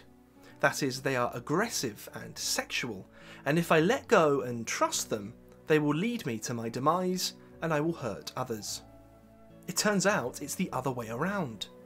Trusting and having faith in them is the most helpful thing I have ever done in my life. Steve replies, a very important insight. Instinct is the carrier wave of the genome's intentionality. It has to have survival as a baseline response, albeit modifiable under certain meta instinctual conditions. Meta instincts are the context for fundamental Pankseppian instincts. By their libido shall ye know them. People at odds with instinct to the extent that they take on a pure Freudian aspect will seek out Adler to deliver them into the world. Freud seeks Adler. Adler conceals Freud. Fantasies of a pathological kind then lead to Jungian inflation. Jung inflates and falls victim to both, which recursively loops back into debased Adler and degraded Freud. Such is the drive state of internet gurus, who peddle fear and attachment to their misfired personalities. On complexes resisting the ego, and typology as representation. A student asks, Sometimes when we try and bring about homeostasis, can this lead to psychosomatic symptoms? For me, I seem to get GI symptoms whenever I resist my OCD, which is subsequently followed by positive progress and weakening of the complex. So, could the intermittent psychosomatic symptoms be a metaphorical last stand for the complex? Steve replies, Yes, a qualified yes, as in yes, it frequently does, but also given due regard to the context, which includes you and your insight and understanding that you must understand the how and the why, and why the why is not a reason to fall back into OCD. This is not to suggest that you will, but OCD can utilize any understanding gained of itself by the ego to attempt to distort what it hears to support the complex. The how is a simple superpositioning effect that displaces the expression of the complex into another representational state, which may be symbolic. So, the how is via any of the familiar transduction pathways, identified by Ernest Rossi, with the addition of the body's acid base regulation, as a field of informational transduction and regulation in its own right. This is particularly true where smooth muscle spasm may be involved, that is, in the body's smooth muscular tubing, arteries, the digestive tract, the lungs, etc. However, the first place to be affected by change in pH is the brain. This is very well documented, and the result of it can be the initiation or re-triggering of many conditioned states as they're identified by Rossi, and indeed by Jung, that is, complexes. The way in to psychologically address these states is via the different qualia of consciousness available to the ego. These qualia are resonant with Jung's functions, but are not collapsible into the usual understanding of them in pop psychology.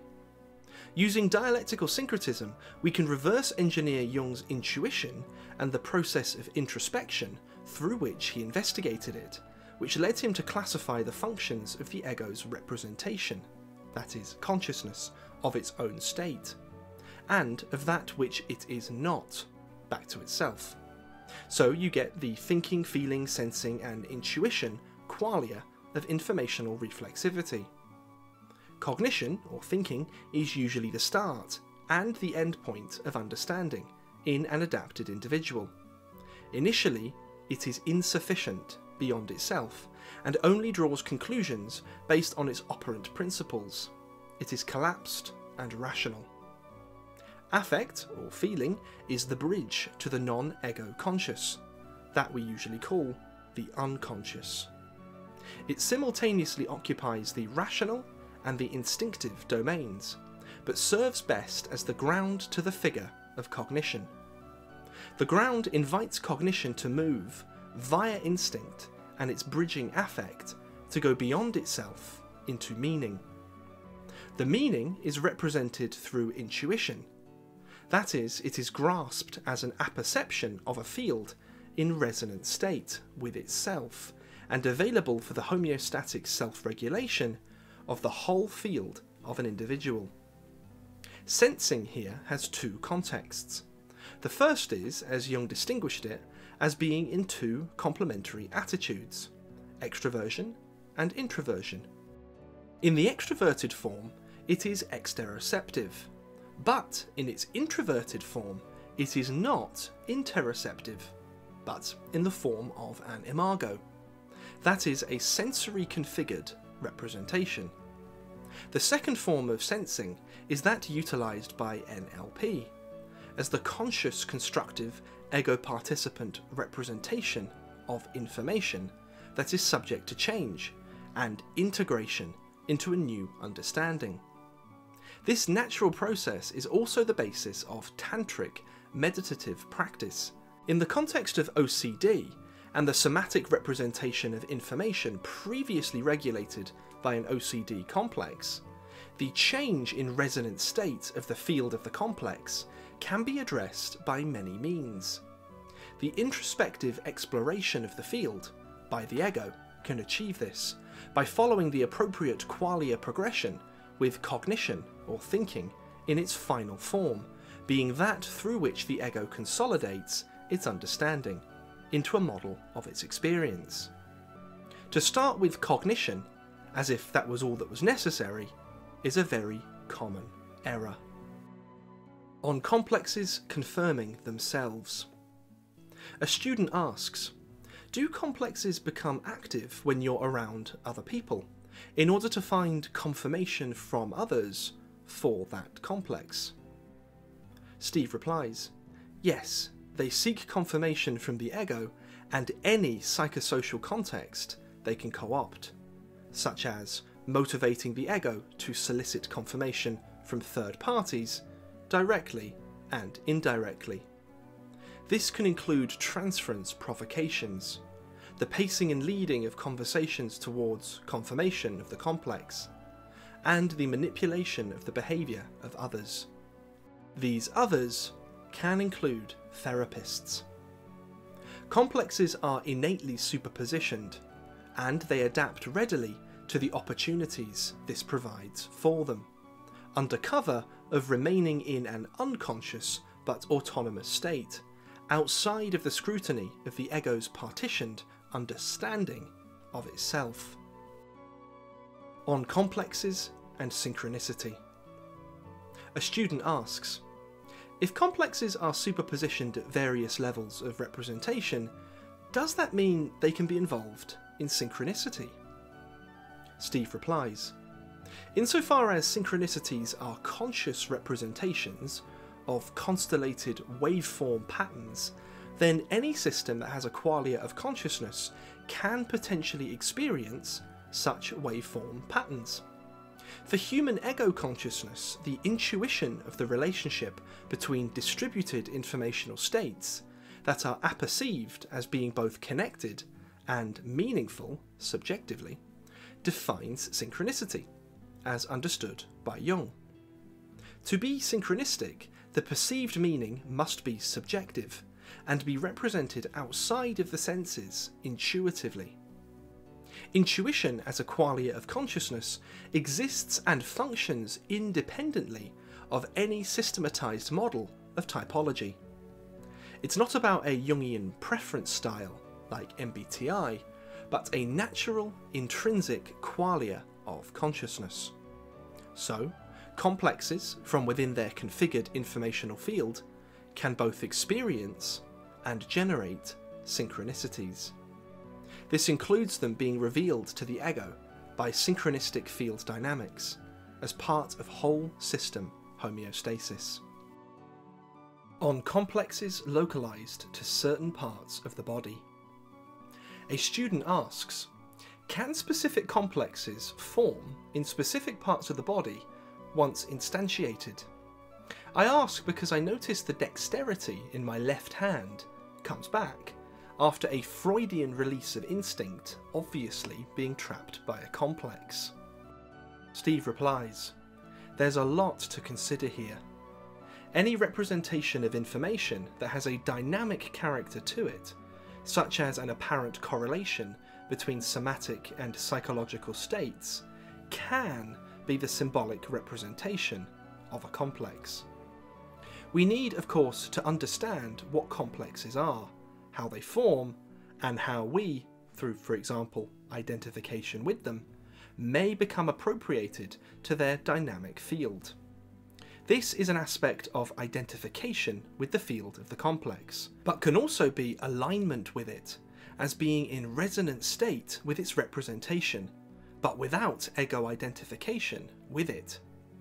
This can further be compounded by a transient, non identified or non aligned field resonance with the complex's autonomous activity. Such non aligned autonomous complexes have a waveform embedded within that of the non ego conscious, otherwise called the psychodynamic unconscious, the cognitive unconscious, and their neural memory and learning and field substrates.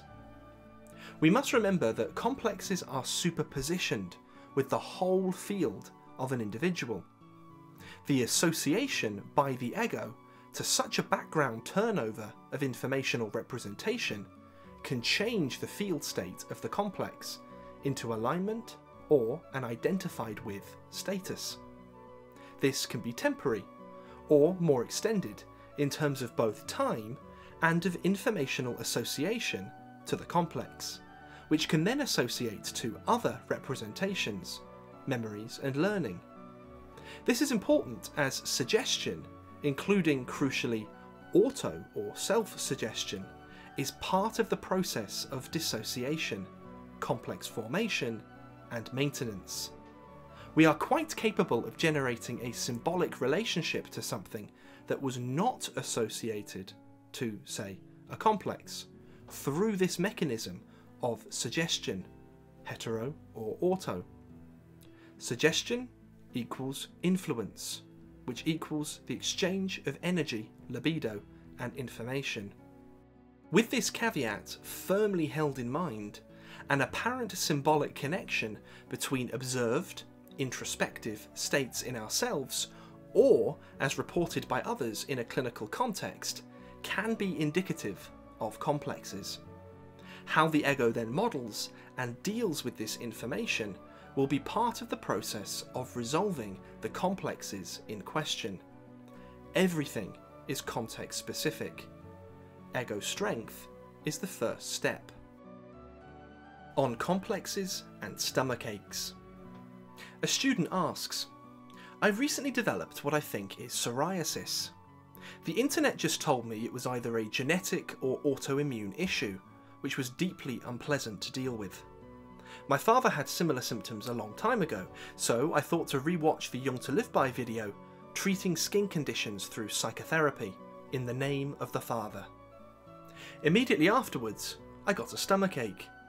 It seemed synchronous with the contents of the video, that is, psychological information being expressed somatically. Could a complex be behind both the fear that I felt and the stomachache? Steve replies Before concluding that the stomachache was psychological and not just normal metabolism, you'd need to be certain that your awareness of the stomachache wasn't being projected over by your ego, i.e., interpreted as being connected when it wasn't connected at all. If you can be certain, then it could be as you suggest. When stress is relieved in its focus, it can shift in representation, as a perseveration. This can be caused by the habitual attachment we have had to being in a stressed state. Not being that way can feel unfamiliar, so the information formerly held in one state may shift into another. Too much attention to the unfamiliar representation can make it a completely new form of representation. If you know that your system can do this, then you know that it can stop doing it. Homeostasis would prefer not to shift old and dealt with representations around, and sometimes alerts the ego to the habit by signalling itself as a transient symbol of our habit. On life is suffering as a complex. A student asks, I'm noticing that there seems to be some ideas that are all encompassing, as in they can direct all of your libido towards it. The idea that life is suffering seems to be one. People who believe this idea tend to say that we must think about all the suffering that has happened and is still happening in this world in order to live a good life. This idea leaves no room for other thoughts and emotions. Would this all encompassing aspect be a sign of a negative complex? If so, what are some of the more specific or technical biopsychosocial manifestations of this aspect in someone's life?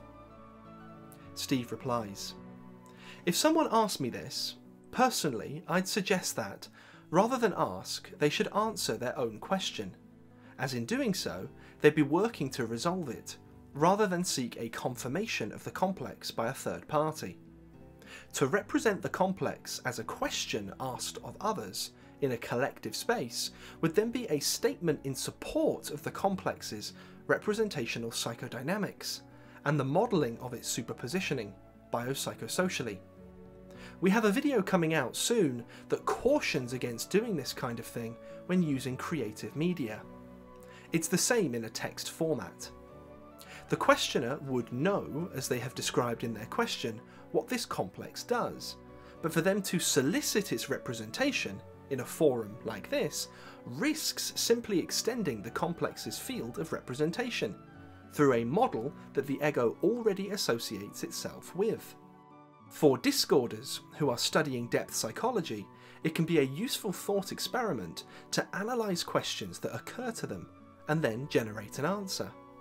The task then would be to identify any subliminal complex activity of a personal kind that may have authored the question in order to seek its own confirmation by proxy, whilst it concealed itself as an apparently objective line of inquiry. On internal projection preventing consciousness. Steve posts A key insight is to understand that the ego is truly unconscious outside of the bandwidth of its immediate Miller number. This includes not only the immediate external sensory environment, but also outside of any internal representation that enters awareness from within. A reasonable observer will very soon conclude, if they don't collapse into immediacy, that everything else is still there, externally and internally, but is outside of our awareness of its field interaction with us. The ego readily projects and does so unconsciously.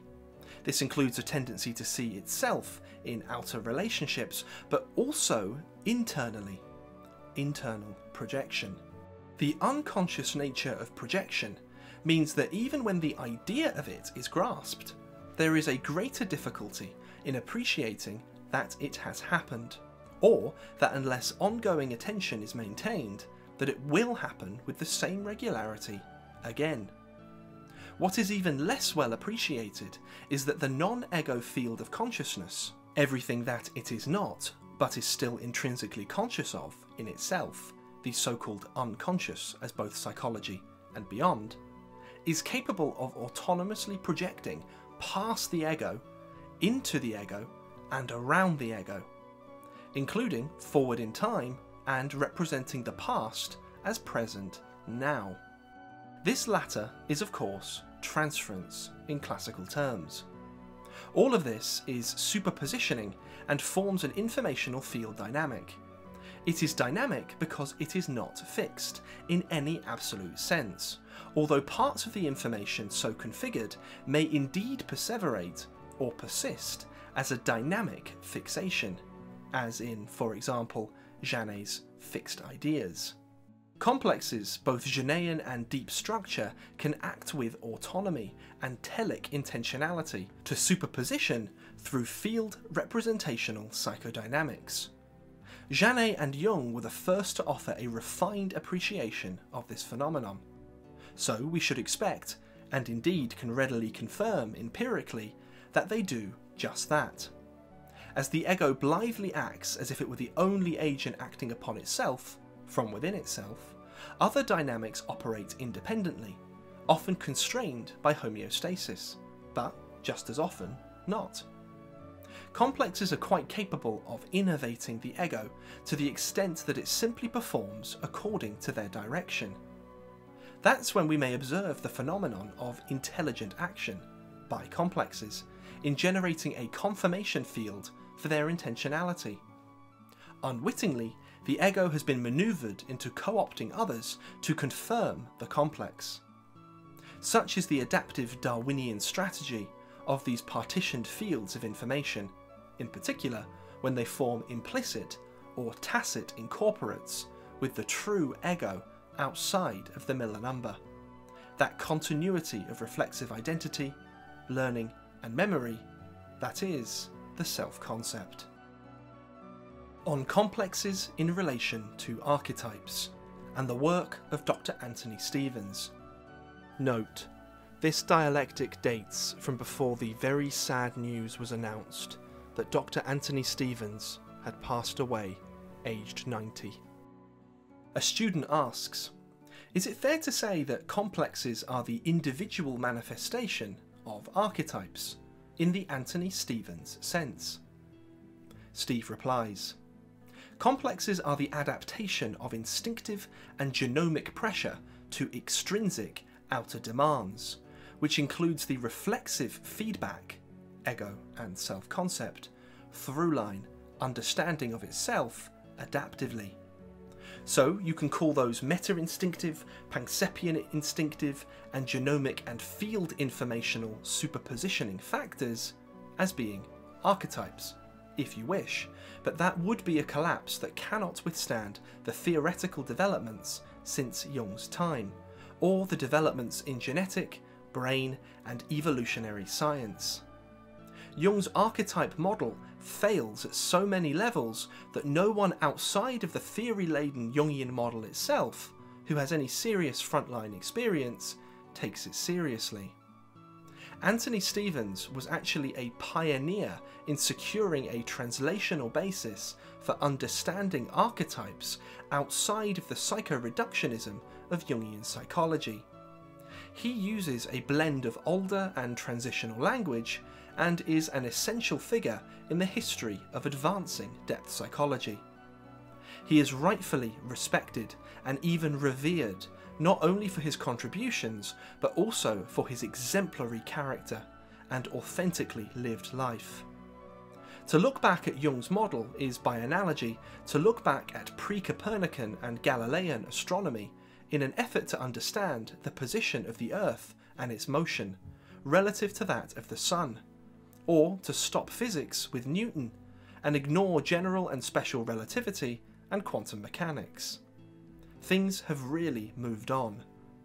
A way around the problem is to properly understand dialectical syncretism. But that simple discipline is so very difficult to apply from within a mind that is retrogressive or confirming only of fantasies. The student replies, Thanks, Steve. I'm reading Anthony Stevens' Archetype Revisited, which is what brought this question to mind, based on how Stevens defines archetype. He uses words like innate release mechanism, patterns of behaviour, and phylogenetic psyche. Could you elaborate more on Stevens's contributions? Also, are you saying that there really is no need to use the word archetype anymore because of the ideas that get commonly associated with it? Steve replies Anthony's use of sign stimulus and innate release mechanism come from the discipline of ethology. Anthony is the main source for bringing ethology into the Jungian world, but Dr. Anthony Storr also contributed to this back in 1973, albeit in nothing like the same depth or breadth as Dr. Anthony Stevens. Dr. Stevens has been a supporter of IPSA since February of 1990. This year, 2023, on his 90th birthday, he restated that support, saying, Thank you, dear Steve and Pauline. You, Eric, and your students are doing a great work which will contribute to the survival of humanity. And as I approach the final years of my life, it is a comfort to know that this vital work is in such capable hands. With love and my deepest thanks. We respect Dr. Stevens immensely and take very seriously our duty to continue his work on through the IPSA model. Our view on the use of the term archetype is that it is now outmoded, in part due to the pop psychology and celebrity culture that has captured it. However, it has been problematic from the start, as it was never properly defined by Jung, and he contradicted himself, seamlessly, over precise definitions of what they were supposed to be. Jung's understanding of instinct was reductive and 19th century in origin. Contemporary Jungians have largely abandoned Jung's usage of the term and of its definitions over such things as anima, animus, etc. There is a strong woke element within contemporary Jungian analysis, which first arose in the 1970s. Internet followers of celebrity psychologists seldom understand either Jung's original work or how the mainstream of it has moved on. Dr. Anthony Stevens is without question one of the founders of the new paradigm in depth psychology that includes biology, evolution, and a rapprochement between those disciplines with Jung. Freud is being updated through neuropsychoanalysis, Solms and Panksepp. There is an IPSA move to bring Jung into neuropsychoanalysis, published reports in the journal Neuropsychoanalysis, published by Routledge. Professor Erik Goodwyn is part of the new paradigm in following Anthony Stevens and is acknowledged by Dr. Stevens as being so, with Pauline and myself. There are others contributing to this field too. Regarding the phylogenetic psyche, this is originally from Jung, reinterpreted by Anthony Stevens, and further developed in the IPSA model.